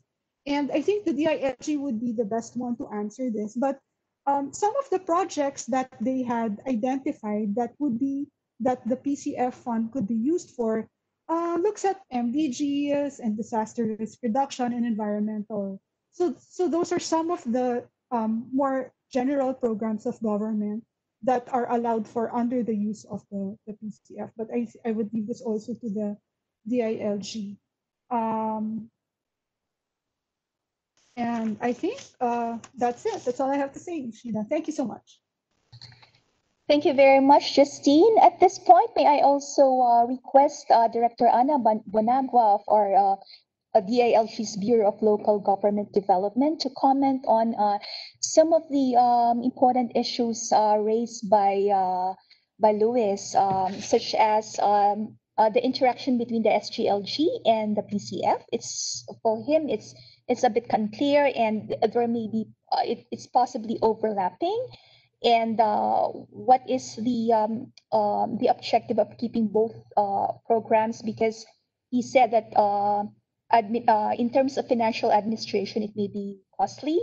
And at the same time, if you could also comment probably on uh, what he said about the possible uh, impact of uh, uh, the Supreme Court ruling on uh, on on on on the on the PCF and uh, and and the SGLG, and also, or let's say, does it that's does this mean that there should be greater oversight and uh, good governance uh, that should be expected uh, from our LGUs given the higher revenues that will be poured into the coffers of our LGUs. And then uh, should F- SGLG and PCFB use, let's say, to allocate funds, priority funds for COVID-19 response. I will also ask uh, Governor Cua on this uh, um, issues later on. Okay, Director Anna, please. Um, thank you, Sheila. Uh, that's quite a lot of questions. Well, first of all, our, um, uh, it's true. Well, well, I think at the moment, uh, the Philippines is one among the first uh, countries that have an incentive program for local government units, and we would like to thank World Bank because World Bank uh, helped us in developing the initial concept and the implementing rules uh, for the implementation of the PCF way back in 2010. Um, uh, there are a lot of things to consider in the drafting of the concept of uh, and implementing rules of the Performance Challenge Fund as well as the Seal of Good Local Governance. Well, these two programs, these are twin programs of the DILG on performance management and incentive system. So we call it twin programs, Seal of Good Local Governance and the Performance Challenge Fund. Um, uh, the, per, the Seal of Good Local Governance is supposed to conduct the assessment of the performance of local government units, while the Performance Challenge Fund is the one giving the incentives and the rewards, monetary and the other uh, uh, associated benefits for passing the Seal of Good Local Government. So uh, uh, it's a continuum uh, from the performance assessment under the Seal of Good Local Governance to incentive systems under the Performance Challenge Fund. Um, there are a lot of um, consideration in drafting the concepts and the implementing rules. For example, how how we can incentivize, whether we incentivize, um, wh- whether the incentives are commensurate with the required performance. Uh, but then we are limited by a fixed budget regardless of the number of passers. So these Okay. are that justifies the current rules and regulation. Uh, in terms of um, uh, it's the impact of the implementation of the Supreme Court ruling on the Mandanas uh, petition, uh, increasing the internal revenue allotment of local government units. Well, uh, I think that will be good news for many of for, for all I think for all local government units. They have been waiting for this for the longest time. They will have greater resources to implement programs and projects. Um, uh, for devolved uh, activities and responsibilities of local government units. And I think um, even with increased resources, uh, the of Local Governance and the Performance Challenge Fund will be will continues will continues should, should continuously uh, exist uh, in view of the new law, which is RA 11292, which institutionalizes the Seal of Good Local Governance, as well as even the incentive system, which will now be called the Seal of Good Local Governance Incentive uh, Fund. Um, while there will be more resources uh, to be given to local government units, so we will be expecting better performance from our local government units.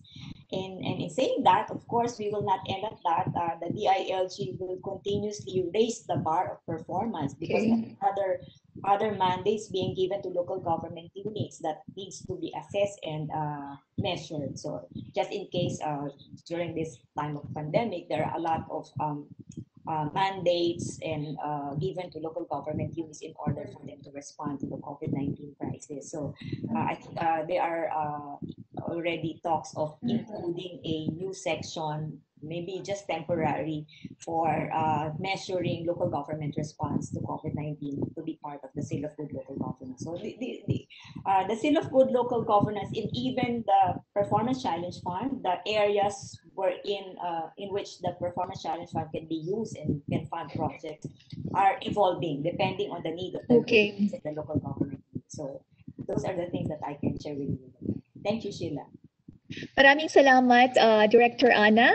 Incidentally, well, uh, magpa-plug na kami, no? Because on August 20, we will have a PIDS, another PIDS webinar, this time on uh, our, uh, the paper by PIDS, uh, written by Dr. Chat Manasan on the um, SC ruling, no? So we will have a presentation on that and we will invite you, uh, Director Anna, as one of the discussants.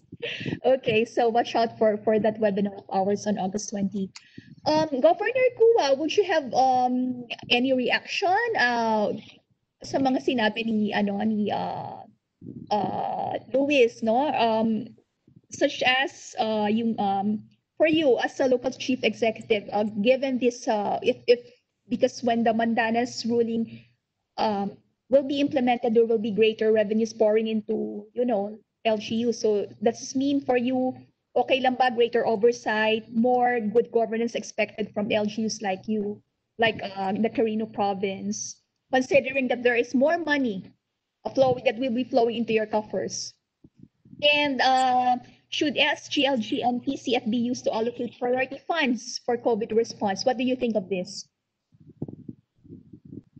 Ah, Sir? Thank you, Sheila. Um, first, I'd like to react to to what uh, Mr. Hawke or Lewis uh, mentioned. Um, um, I am very impressed by his uh, observations. It's it's as if he has lived in the Philippines for 20 years. so very it's very insightful. Um, but uh, yeah, um, that Mandanas ruling is uh, is a welcome uh, development shall it be implemented in the near future? Obviously, uh, we expect, as per my crude calculations, about 20 to 30 percent increase in local revenues. No, um, but but siguro eh, this is off topic a little bit, but I'd like to point out that um, that uh, um, for us in the province of Quirino, we are trying to be as independent of IRA or national downloaded revenues as possible. Um, that's that's our objective to be as independent of it as possible. Kasi um, for us to really be progressive, we have to have um, our own source of income. Ang problema, ang tingin ko sa local code, uh, hindi gaanong malawak ang room ng uh, provincial level at least ha, in uh, creating revenues. Um, While the municipal and city levels have their business taxes, so when they invite more investors, it literally translates to more sales and business taxes. For us, real property is a different uh, animal altogether. No? It, it grows in a different way. Property values have to go up before before real property taxes increase. And again, it's shared among three levels of LGUs. So it's it's a different structure. So that's a totally different uh, discussion. But but it points out to the fact that um, um, that is a constant struggle of LGUs na maging independent of IRA. Yes, we welcome it. We we'd be very thankful and happy if it's implemented sooner than later. Uh, it will help us dramatically in uh, funding many needs, but it doesn't solve our dependence on that revenue. Okay, so so that's an issue that's not it's a little off topic, but uh, but uh, it's uh, it's right along that uh, discussion. I'd also um, um, I, I'd, I'd like to state lang that um, um, the issue about uh, COVID nineteen is a multidimensional. I think more than um, many people don't realize that it's more than just health um, and economy. It cuts across many things. No? It cuts across environment, cuts across education, obviously. Ang hirap mag-aral o magpapunta ng bata sa school. Infrastructure, uh, logistics, um, etc. Uh, and that that uh, weighs a heavy burden on our finances, on the LGUs. And um, and uh, and and I'd like to react to what Lewis said earlier that um, perhaps uh, don't get me wrong, huh? Uh, Director Anna is here, and uh, I fully appreciate what SGLG has done, how it's uh, driven LGUs to strive to reach that seal, and it's really revolutionary. But then again, perhaps there is always room for improvement, and one of which is mentioned by Lewis on perhaps attaching it to loftier loftier results like uh, poverty reduction maybe quality of life Mm, uh, increasing competency of our students in terms of education um, uh, provision of basic utilities like water electricity uh, things like that um, ac- access to basic uti- utilities. So maybe as we measure these performance standards uh, included in these uh, SGLG parameters, let's tie them up. Mhm, mhm. Kasi for for for executives and local officials, it also means uh, a quick translation na mas maginhawa ang buhay sa ating probinsya or Okay. ating munisipyo, which means uh, it's something you can use also in the electoral process na, okay, Yeah. higher standard of living in our municipality. Therefore, it resonates with the residents. So there, there is a political dimension, which is not necessarily wrong. Well, we harness it for Okay. positive effects. So yun lang po, uh, a little bit of food for thought. Thank you very much, uh, Governor Cua. So, as you said, we should scratch beyond the surface, no? So, yeah, uh, probably deepen the criteria so that we're not just uh, looking at, you know, uh, presence or absence of, but really outcomes and, and impacts. Uh, yeah. So, para mas ano, mas ma-measure pa natin talaga yung yung results ng ng uh, ng, ng, pro, ng programa and if it is really uh, benefiting the people. Okay, uh, right. So at this point, um, before we entertain questions, uh, let us have a poll. And this is your chance to be heard para po sa ating mga, sa mga nanonood sa atin sa Facebook and uh, participants po sa WebEx. So in Dr. Sicat's presentation, and if you are listening intently, to uh, her recommendations, one of the suggestions that she mentioned was having uh, different criteria or different benchmarks according to the LGU's income class or regional location. So do you agree with this? Okay, so join our poll on the question for the SGLG. Should, should there be different criteria or benchmarks according to LGU income class or regional location? Okay, so yes or no? We will reveal the results of this poll before the end of the webinar. Okay, so friends, we are now ready to entertain your questions, and I can see in our chat box that we have uh, some very interesting um, uh, questions from um, our uh, WebEx uh, participants, and later on we will go to our face uh, questions of our viewers on Facebook. And uh, for our open forum, aside from Dr. Sicat, Governor Cua, and uh, Lewis Hawke, we will we will be joined by Director Anna Bonagua of the Bureau of Local Government Development or BLGD, which is implementing the Performance Challenge Fund or PCF. Ms. Edna Aragon, um, Division Chief, and Ms. Melanie Kiton, focal person of the SGLG. Ms. Aragon and Ms. Kiton are from the Bureau of Local Government Supervision, lead, lead implementing uh, unit, lead implementer of the SGLG. So welcome everyone to our open forum. And uh, for our first um, question, okay, and, and if if I may uh, throw this to our uh, friends from the DIL, DILG, uh, okay. And uh, this one is from Corinne Canlas. And she said, Quirino shows that having limited income or being in the poor category is not a deterrent to go, good governance. The study indicates, though, that this is the limitation of low-income class municipalities. So, ang sabi niya, maybe a ladderized incentive system that could combine incentives plus on-time capacity building. Director Anna, um, would you like to comment on this? Um, well, that's really the intention of the Seal of Good Local Governance and the Performance Challenge Fund. Uh, uh, the, the, the seal should be able to direct uh, local government units and even the ILG to interventions wherein local government units are in the weakest. So uh, it is not just the incentive, which is the monetary incentive, of the fund. it really lead uh, the DILG and even other national government agencies to direct their capacity building intervention to the weakest areas of local government units or where they did not pass. Um, and uh, um, in the performance challenge fund, though there are uh, a menu of uh, thematic areas where they can use, they can use this in, in so many other activities, including their own capacity building.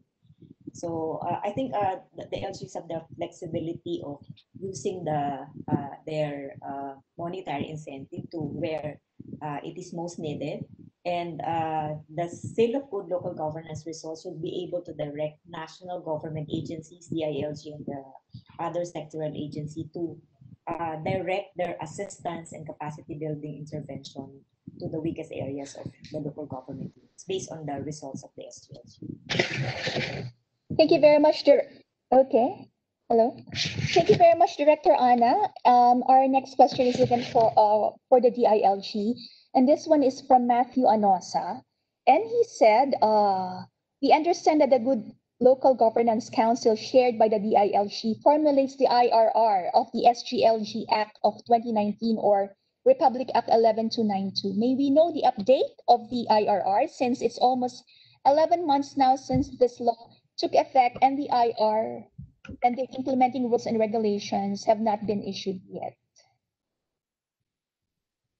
Director Anna, any update on this? Well, uh, maybe we, BLGS can give more some uh, Yes. data, but then uh, uh, the council has been um, organized or convened. Uh, they have several Mhm. meetings towards uh, the finalization of the IRR. I think in the next few months or within the month or in the next month, uh, we will probably might be releasing the IRR. But then Melanie can give us the Yes. uh, Thank you. updated dates. Melanie, hello. Hi, good Oh, afternoon. Yes, could, could you uh, please uh, turn on your uh, video so we can see Here, you? here I am now. Yes. Um, yeah, regarding the IRR, actually, we are now in the process of finalizing. Um, actually, we're integrating several inputs from um, our uh, fellow council members. And um, we are now finished with the third draft. We are already working on the fourth draft of the IRR. So hopefully before the quarter ends, this will be um, approved, then um, disseminated to all. Okay. Thank you very much, Melanie. Okay. Okay. Um, and for our next question, uh, we have this one is again. Okay. Okay. May we hear uh, Governor Skuwa's response on this question, sir? And this is from Veronica Hitosis of the League of Cities of the Philippines. Um, perhaps um, Justin first, and then I will go to doc, uh, to uh, Governor Cua. Okay, does the research uh, take into consideration the profile of LCEs in the top performing and laggard LGUs? Why or why not? Uh, because he, she said it is noticeable that for cities, most SGLG awardees had minimal or no change at all in the LCEs.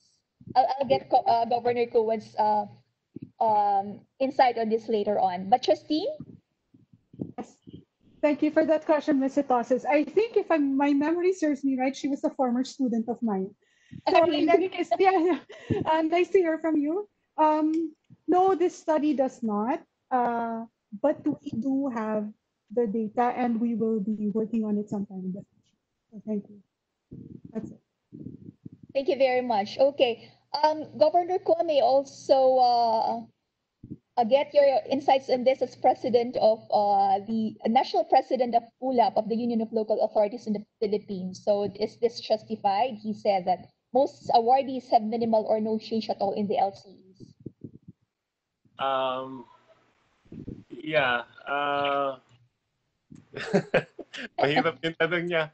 Uh, very good question, ma'am. And uh, um, I, I, it's not, I think kasi the SGLG is not, um, eh, parang hindi the same context for all eh, for all. Um, but, but yeah, um, uh, you, I, I think that um, the point may be does continuity of leadership Mhm. help in Yeah. Is it a factor ba? What do you, uh, it, is it, it a, yeah? It will again depend on the leadership. If that Yeah. if LCE is driven to achieve it then yes. If the LCE doesn't really care about it then maybe not. So uh, baka walang one answer for all. But uh, Mhm, but yeah mhm. technically it could be a positive effect. I, I can see how it can be uh, helpful to the maintenance of the SGLG Thank you very much, Governor. Uh, we have an um, we have this question for you again, and uh, well, you already mentioned your thoughts about the Mandanas, but let me just uh, uh, read this question for Gov- Governor Cua. How are you preparing to scale up responsibilities and resources once Mandanas is implemented? Do you foresee any challenge in terms of capacity constraint?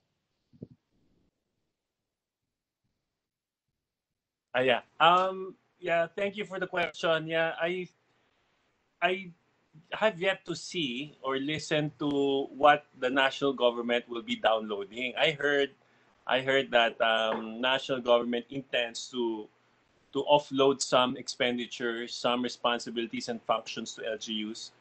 Um, and only upon seeing that list or that mechanism will we be able to analyze if we are prepared for it or not, diba? But but ako, uh, I welcome the challenge. I welcome more responsibility.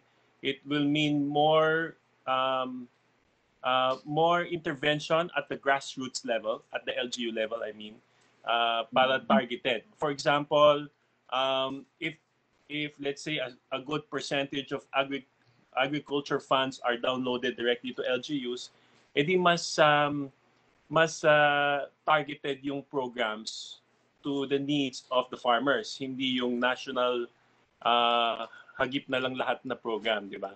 So, but I, I do agree there should be programs that should be national in scope. But but yeah, I welcome it, and um, I guess that what we are trying to do is really to gather more data from the ground, as to prepare for what programs we will be implementing, grant uh, when the grant comes, when the when the additional funds come. Thank you, Governor. This uh, next question is for um, Justine. I think this was covered by your study, no? Yung um SGLG has it influenced the formulation of the mission, vision, and development strategies of participating LGUs for passers as well as for non-passers? And I think you you got a favorable uh, response on this. Okay, although to what extent we we don't know, right? Sheila, I uh, um thank you. I think it's Tony Avila for that question. Hi, Tony. Um, yeah, the the evidence we got is that 78% of the municipalities claim that the SGLG has influenced the the vision, goals, and policy.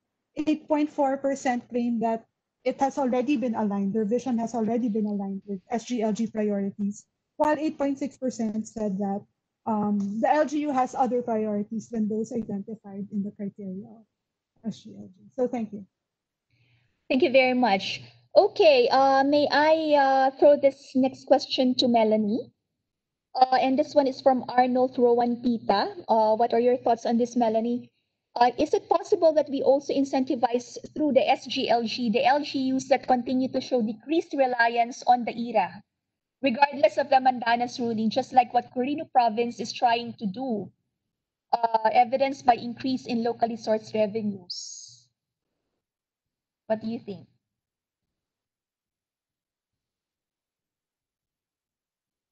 Uh. Yes, your microphone is on now. Hello? Okay. Melanie?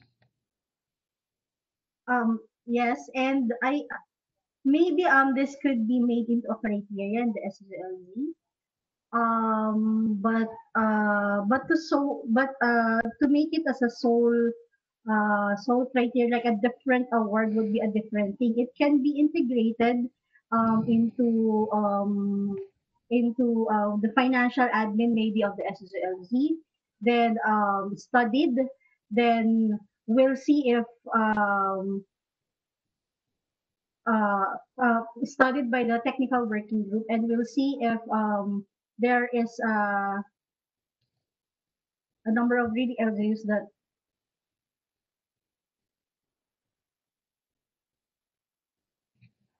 Melanie, uh, your microphone is uh, off. We cannot hear you. Hello?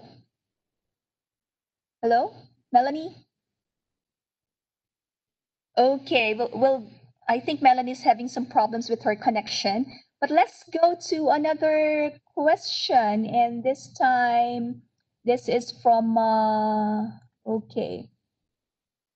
It's it's comment from uh, David uh, Leonidas Yap, uh, Dr. Yap of uh, of uh, University of the Philippines, uh, DTI CM CMCI groups. Okay, for ex- uh, DTI's uh, CMCI groups LGUs by specific categories. For example, you cannot compare competitiveness among highly urbanized cities, first to third class municipalities, and fourth to sixth class municipalities. Thus, for the SGLG, LGUs should be grouped. Okay. Uh-huh.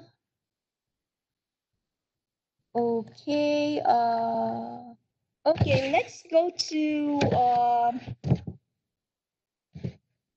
Okay, let's let's go to um to the criteria, current uh present criteria of the SGLG and as we can uh observe they put premium on certain governance principles such as transparency, accountability, and participation. How about the principle of, let's say, innovation or innovativeness, which is an important trait that our LGUs should uh, demonstrate because we have smart, successful LGUs that are using uh, current technology to streamline their operations, create efficiencies, and uh, let's say produce better results with no additional resources. Uh, what do you think of this, uh, Charlotte, uh, Justine, and and uh, Governor Cua?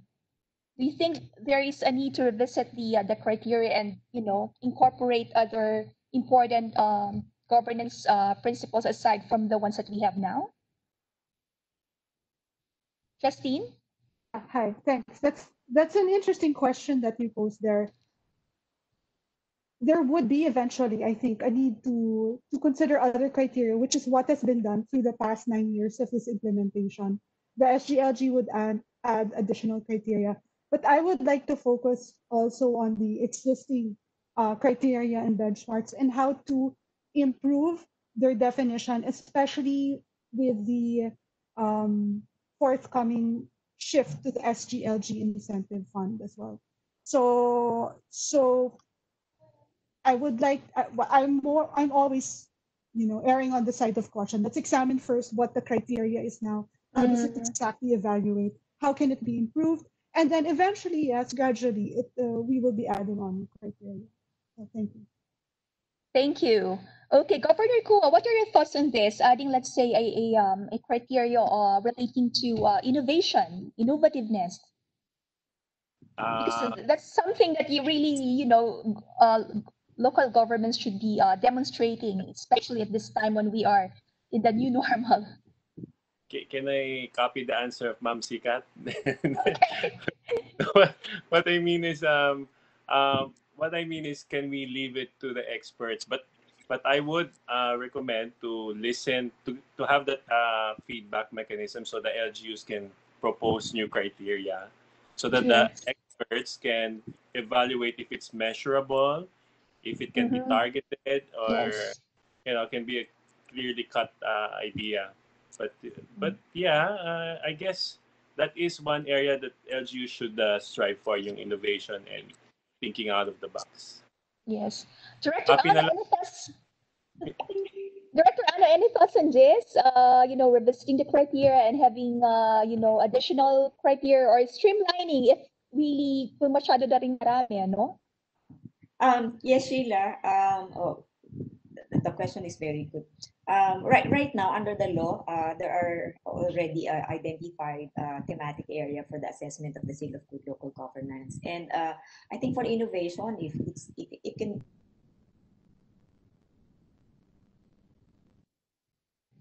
areas. And then, uh, as Sabine mentioned, um, the indicators continues to change and evolve through the years. So the last 10 years been evolving every year. We have continuously added new indicators uh, based on the new requirements for local government needs.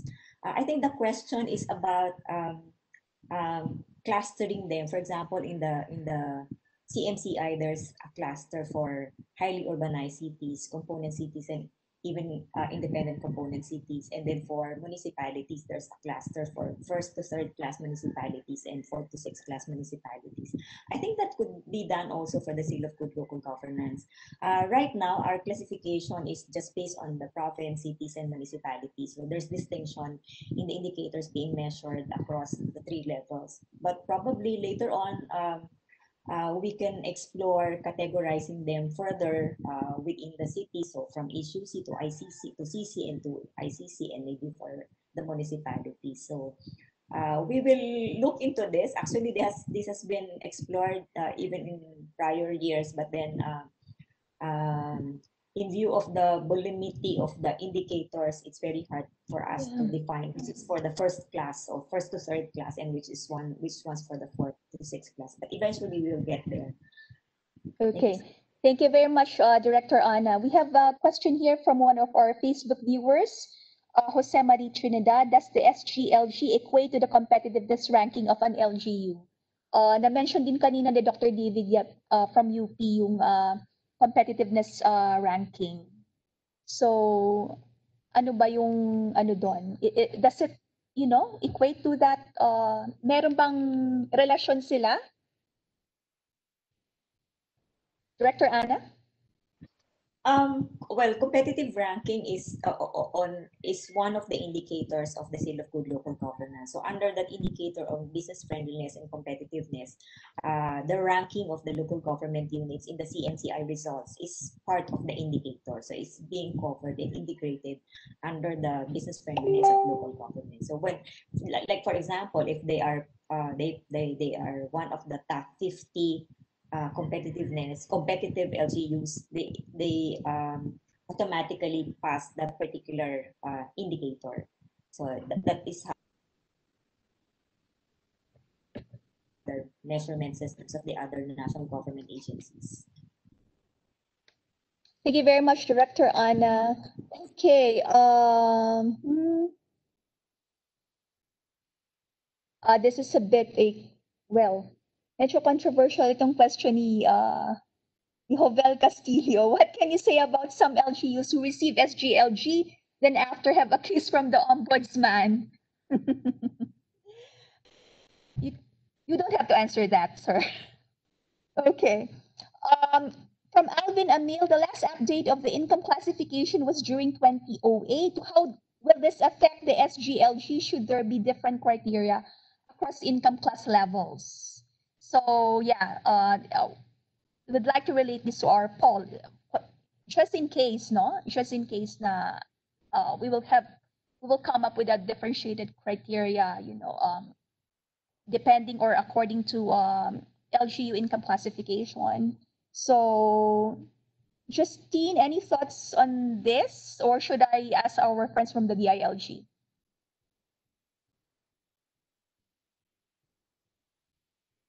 Uh, Yeah, thank you, Sheila. Well, I was reading, rereading the question. Then, uh, how will this affect the SGLG? Should there be different different criteria across across income income levels? Well, actually, that was one of the um, that could be one of the included recommendations of mine. I said there should be differentiated across um, perhaps income class of LGUs, but this depends.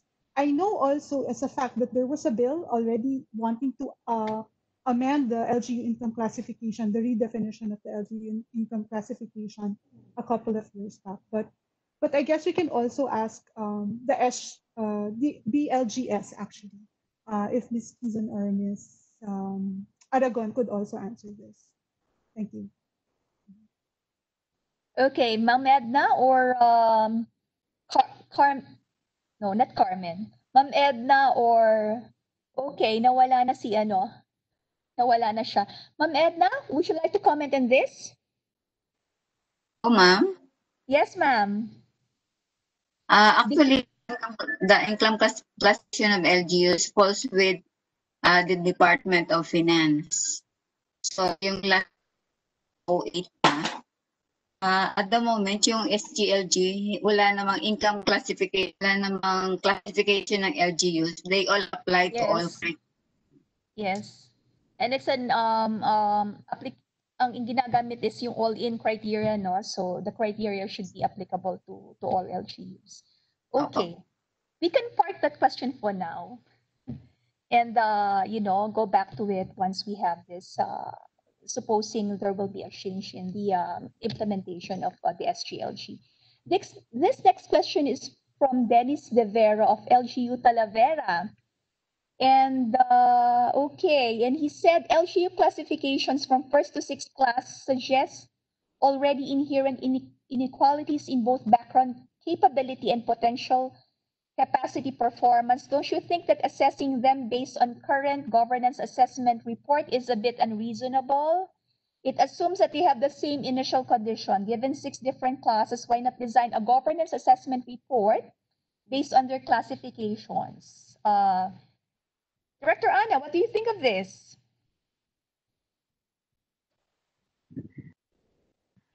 Uh, okay. Uh, well, well, that's one thing that we that, that limit us in uh, categorizing or clustering the local government units. As mentioned, uh, uh, our income class classification dates back 2008, and uh, in that classification, based on the income brackets, um, at least I think uh, 80 to 90 percent of all local government units falls under the first class income classification. So, um, so that actually limits us in um, in in in in doing a income based um, uh, criteria for the seal of good local governance. But then I think we'll we'll we'll probably get there as soon as maybe the the law or the the the law for the income classification is passed and the income classification is uh, has been updated such, in such a way that it will be equally distributed uh, across or the income levels has been updated so that uh, not all LGs will fall under the first as it's it right now.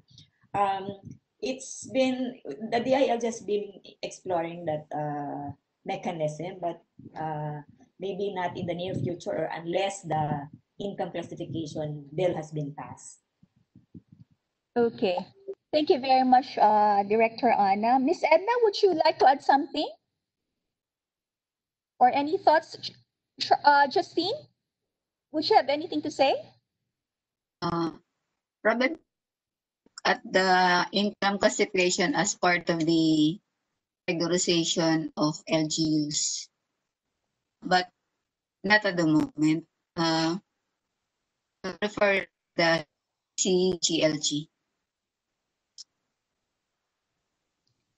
Okay, thank you, Ma'am uh, Edna. Uh, Justine, if I may um, address this next question to you, is from one of our Facebook viewers, Timmy Marispo, Marifosque. Sabi niya, in the baseline study on fiscal and governance gaps, and he's referring to your presentation uh, two weeks ago, only 5.1% have valid uh, CLUPs, 4.4% have valid CDPs, and 31.2% have valid LDIPs. Only 464 LGUs received SGLG in 2017 and 263 in 2018, despite only 64 LGUs having valid CLUPs. What could be the pros and cons of considering valid CLUPs, CDPs, and LDIPs as requirements for the SGLG?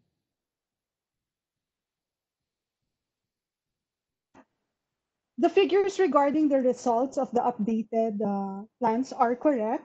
Um, let me try to understand the question. So he's asking if this is going to be used as criteria. Actually, um, the presence of a plan is used as part partial criteria when it comes to good financial housekeeping for the SGLG. Although I think the BLGS would be able to better answer this. So um, if you take a look at it, uh, so I'm looking at the guidelines for the implementation of the SGLG. It would in, be incorporated in the financing development um, financial administration criteria, and that would be functional municipal development council, which includes the uh, criteria of approved LD, uh, LDIP, CDP, and AIP. So it is actually already part of the criteria. But I think the value added of our study was that we looked in particular at the coverage of the each of the plans uh, based on the day, the year that we had surveyed. So our our year of reckoning was 2018, and what we looked at is if the CLUP was valid plus or minus eight years, if the CDP was valid plus plus or minus five years, if the LDIP was valid plus or minus um, three year, two years, then that is considered as updated. But again, um, even if let's say in the case of the CDP, 45% said that I we found that only 45% were updated. About almost 90% said that they had. So I think that's the difference. You can claim that you have, and that would make the the grade that would be a pass. But if what we did was we looked at the period of validity in order to be able to say if the plans were updated or not. So I think that's one area that the SGLG Council should also consider with regard to that. It's not just the presence of, but if it is updated. So thank you. Yeah, definitely it's important to have updated plans, Justine. Okay, uh, if I may uh, throw this next question to uh, Ma'am Edna of the uh, of the LGS, no? Kasi one of the uh, things that uh, Justine reported in the study is inadequate information that um is, is the perception of uh, the LGUs that the PCF applies only to low um, low income class yeah the the, the poor municip uh, that the PCF does not apply to the poor municipalities. And and we can attribute this probably to you know mostly to um the fact that because only a few of, them really uh, qualify for the PCF hence that perception. So another reason is the inadequate information that these LGUs have uh, owing perhaps to limited information dissemination so, Ma'am Edna, how does the DILG address this uh, information, um, inadequate information that our LGUs receive about EPCF? What actions have the department, or let's say, in particular, the BLGS, uh, have done to address this uh, issue? Ma'am Edna? Um, Ma'am, I don't think there's an inadequacy of information dissemination. Mhm. Uh, probably, uh, probably, uh, uh, those falling within the fifth or sixth class, uh, class income uh, failed to pass GL because of the required uh, means of verification, verifiable documents. But I think we have enough staff from central to the regional to the provincial level for them to disseminate information about SGLG implementation. Okay, thank you very Yeah, everybody is being every step of the implementation. Okay, thank you very much, uh, Ma'am Edna. Uh, huh? Okay, uh, Governor Cua, um, you are the National President of the Union of Local Authorities of the Philippines or ULAP, no? So, have there been any capacity building activities that may mga uh, capacity building activities ba na ginagawa ang ang ULAP to our LGUs to let's say make them more effective and efficient in performing their their their functions and in the process para yung mga laggard municipalities naman ay maka uh, maka ano maka-qualify for the seal of good local governance or and, and the, the PCF as well. May mga ganung mga activities ang ULAP. Um, yeah, uh, Sheila, I I believe that um, yung mga activities na yan, uh, meron, no? meron firstly. But uh, most of them are are local government uh, academy, DILG led. Mhm. No? And then Mm-mm. sometimes they co- collaborate with our members, which are the League of Provinces, League of Cities, League of Municipalities, that uh, work hand in hand with LGA. And in general, when there's a general forum, the ULAP participates as well. So yes, Okay. there, there are, but most of them are they are LG and um, uh, LGA led. But but that's a good point, and uh, and uh, we will collaborate tighter with the DILG and uh, and gather that data and uh, try to come up with cap dev efforts.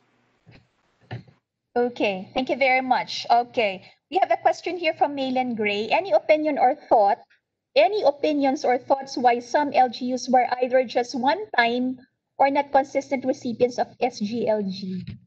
Any thoughts on this? So, so hindi niya nila sustain yung uh, pagiging SGLG passer nila or uh, PCF recipient. Um, Governor Kuwa? Bakit si, kaya, mean, si Justin is be- better to better to answer. She has the data. I uh, apologize. Justine, But Justine, any thoughts? Bakit yung iba one time lang? Ah, hindi sila consistent. Pero yung iba naman, well, kanina sinabi nga ni ah, Governor Kuwa, it all boils down to leadership. So, not not just, you know, na, napakita naman na even the fourth fourth class municipalities, ano, ah, yung iba twice nag, ano, naka-receive ng SGLG. Yes. Justine? Yeah, Sheila. exactly. Uh, that, uh, go ahead. Yes, sir. is fifth class pero consistent 2014 to 2018. Ah, okay. Fifth class, opo. Sorry about that. Okay. Not, not the province, our municipality. Okay, thank you, sir. Uh, Justine? Yeah, absolutely, Sheila. That's a that's a good point you raise. Um, it's not really because of the, uh, you know, there's governance also to it. It's not just because of the requirements. But then, as I mentioned earlier, there was another study that that really examined the dip in in uh, the recipients for years where the assessment criteria changed. So that's also another factor.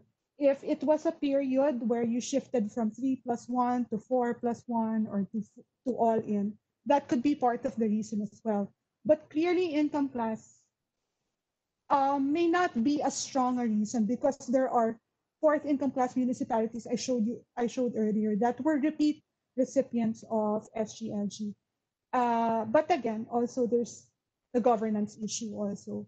Um, we know that um, the local chief executive uh, may change every three years. So it really depends. Uh, so there, thank you. Thank you very much. Ma'am Anna, if I may get your comment on this, uh, there is an interesting uh, um, insight from R.A. Lorca, one of our Facebook viewers. Sabi niya, there, there may be a need to harmonize the indicators of the CMCI with the C- SGLG criteria to reduce the admin burden of LGUs, especially the admin requirements that should be complied for the different performance measures. What do you think Paul?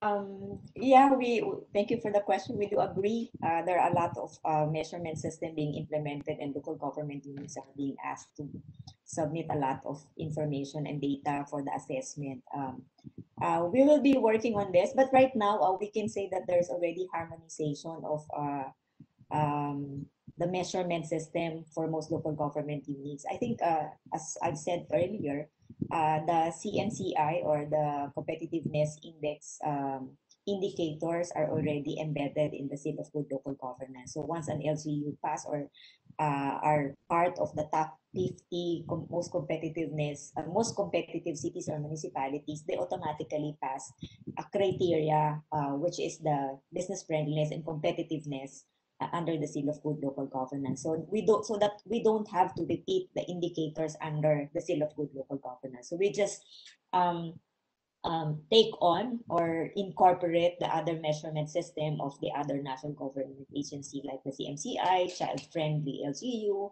disaster preparedness, and these are brought into the fore as part of the indicators. So we don't have to duplicate uh, uh, the assessment for local government units. Thank you, Sheila. Thank you, Ma'am Anna. It appears that we have uh, already uh, entertained all our questions from uh, our uh, WebEx participants and uh, the relevant questions from our Facebook viewers. So at this point, may I um, request some brief, uh, you know, remarks from our uh, panelists, starting off with uh, Justine and then Governor Cua. Uh, may we hear from uh, Lewis again, and Director An and Director Anna. Justine? Uh, thank you. Sheila. Yeah, I think this is a very opportune time that um, it was the, with Director Anna that we had conceptualized adding this study to the baseline study of um, of the local government support fund assistance to municipalities program. So it's a very opportune time to take to consider these results, especially since the IRR is now going to be uh, is being drafted, the fourth version.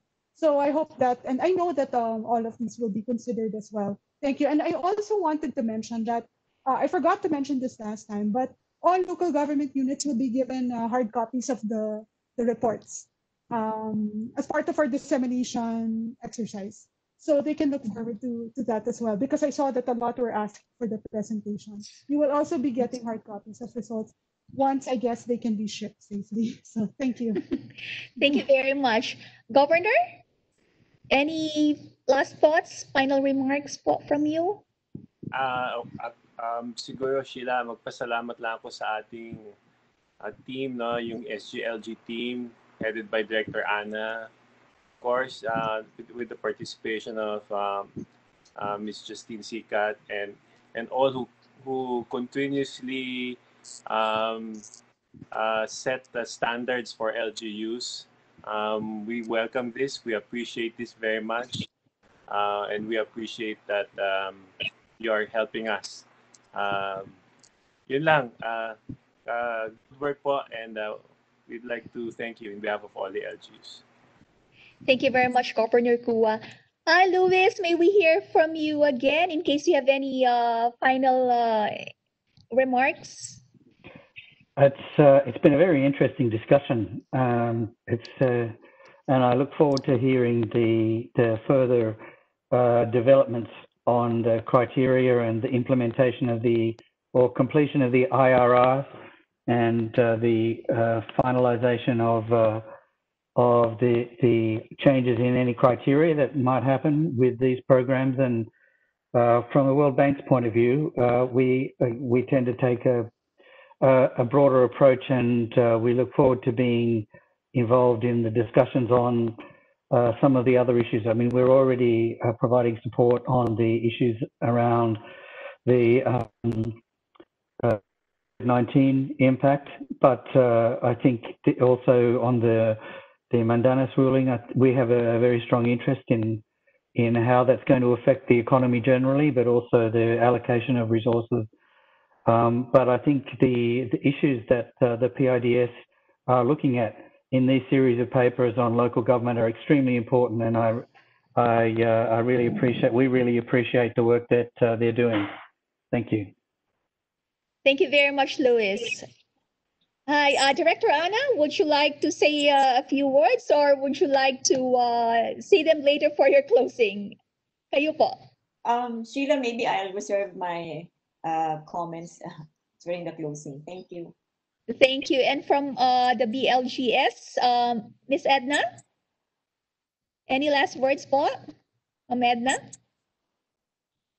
Third lang, uh, maybe in two months' time, we will be able to come up with the IRR for the LG. In time na wala tayong assessment for the year, yun ang aming focus ngayon. Salamat po. Salamat po, ma'am. Uh, yeah, that's very good news po. Okay, so uh, now let us go to the results of our poll on the question for the SGLG. Should there be different criteria or benchmarks according to LGU income class or regional location? When please show us the results. Seven seconds according to Gwen. Okay. We have res- the results now. Okay, I I hindi ko siya makita. Okay. Uh, there were 205 uh, WebEx, WebEx participants that uh, responded to our poll, and most of them uh, said yes. So they are for a differentiated criteria um, and also benchmarks based on uh, the LGU's uh, income class and uh, regional location. So there you go. Yes, ang gusto yes ang gusto ng karamihan.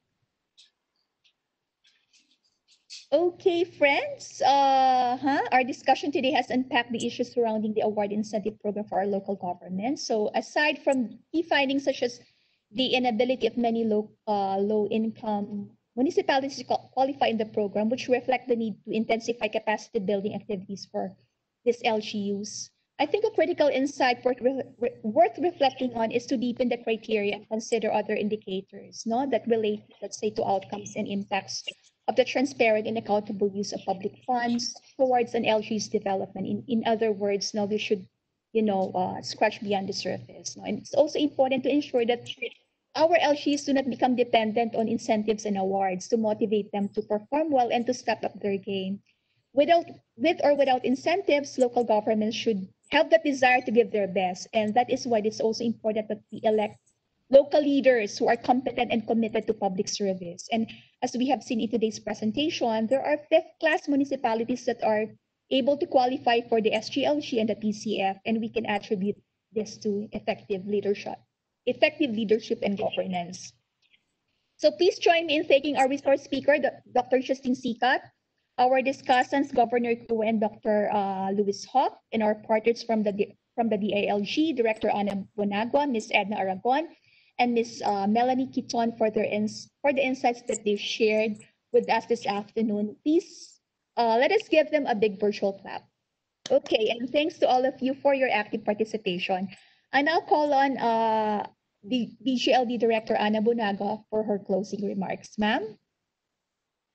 Um, thank you, Sheila. Well, uh, as they say, some good things have to end. Um, on behalf of uh, the DILG Secretary Eduardo Emanio, it is my honor and pleasure that to thank everyone for being part of this second of the three-part PIDS and DILG webinar series on promoting good local governance in the Philippines. Uh, thank you to our speakers and panelists, uh, uh, Dr. Justine Diokno, Governor Dax, Supina namin si Gov Dax, uh, Dr. Lewis Hawke of uh, the World Bank, uh, for the findings and the valuable insight uh, and to the active participation of our viewers through their questions, which made this webinar very informative and productive. Um, the study began as an offshoot uh, from the baseline on the existing gaps in the matter of governance policy, uh, project execution, and fiscal concerns at the local level. The DILG uh, would like to find uh, finds the need to assess whether DILG performance management and incent- incentive system uh, through the twin program seal of good local governance and uh, performance challenge fund is achieving its program goal and objective and to get the sense uh, of the appreciation of the local governments with the goal in mind of continuously refining uh, updating redesign if needed uh, the indicators and the implementing rules to make the program more relevant an effective tool in influencing the behavior of local governments and incentivizing performance towards attaining uh, let's say a gold standard in, lo- in local governance performance. Uh, almost a decade after it was uh, introduced in 2010, the PCF as a mechanism for improved local governance with an incentive program for the which is an incentive program for the seal of good housekeeping then uh, with a pilot uh, allocation of only 30 million for 30 eligible LGUs. The PCF has continued to evolve uh, and have gained support with a stable allocation of 1 billion uh, a year starting from 2012 up to the moment. Uh, it's implementing guidelines for uh, the operation is being updated annually and even the indicators for the seal of uh, in the assessment of the of good local governance are updated, upgraded, and uh, being raised in the highest bar of excellence for local government units. With the passage of RA 11292, or the institutionalization of the seal of good local governance, as an award, incentive, and honor and recognition based on uh, base program for local government units, uh, uh, the Seal of Good Local Governance will continue to exist and the PCF will now be institutionalized and will transition uh, to be now called or to be known as the Seal of Good Local Governance Incentive Fund starting 2021. We do not have the assessment of the Seal of Good Local Governance this year, uh, 2020, in view of the COVID-19 crisis. Um, the DILG acknowledged the findings and the key recommendation of the study as well as the insights uh, from our panelist, Governor Cua, who is representing the local governments, and advice uh, and uh, critical inputs from our expert from World Bank, uh, Mr. Lewis. And we will endeavor to integrate these results in our um, planning and uh, refinements of the concept and the implementing guidelines for both the Seal of Good Local Governance and the Performance Challenge Fund. Uh, and in, in, in preparing the incentive packages for local government units, which should be at least commensurate to the level of efforts uh, that the LGU deliver in order to just reach that seal of good local governance.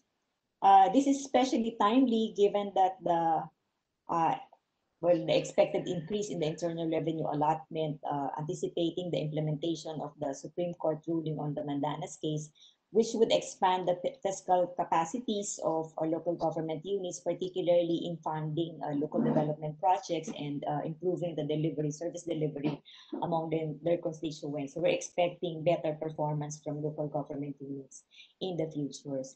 Um, the results and findings of this study will definitely help the department implement a more responsive and competitive incentive package and for recognizing uh, good local governance performance, uh, including uh, the suggestions that we have heard today. Um, we hope that the report would also reach uh, other government agencies and also non-government organization, even private sector and the academe, uh, so that altogether we can help improve. Uh, we have a lot of stakeholders in the SGLG Council that we can help improve the concepts, the indicators, and the implementing mechanism uh, for the Seal of Good Local Governance and the Performance Challenge Fund.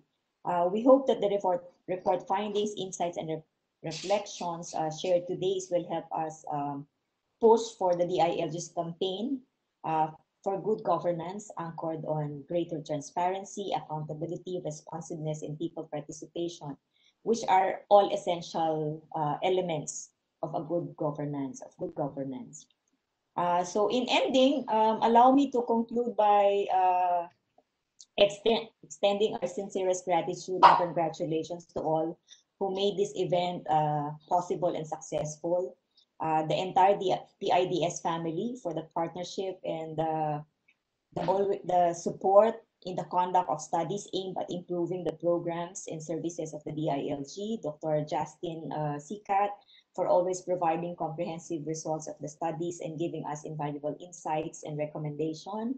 Uh, to Governor Dax, uh, suki talaga namin si Governor Dax for always being, being very active, uh, being the active voice of local government units in national policy discussions and to all the local government units present here today who uh, send their questions and also for striving hard in improving their services standard to pass the seal of good local governance and therefore benefit from the Performance Challenge Fund.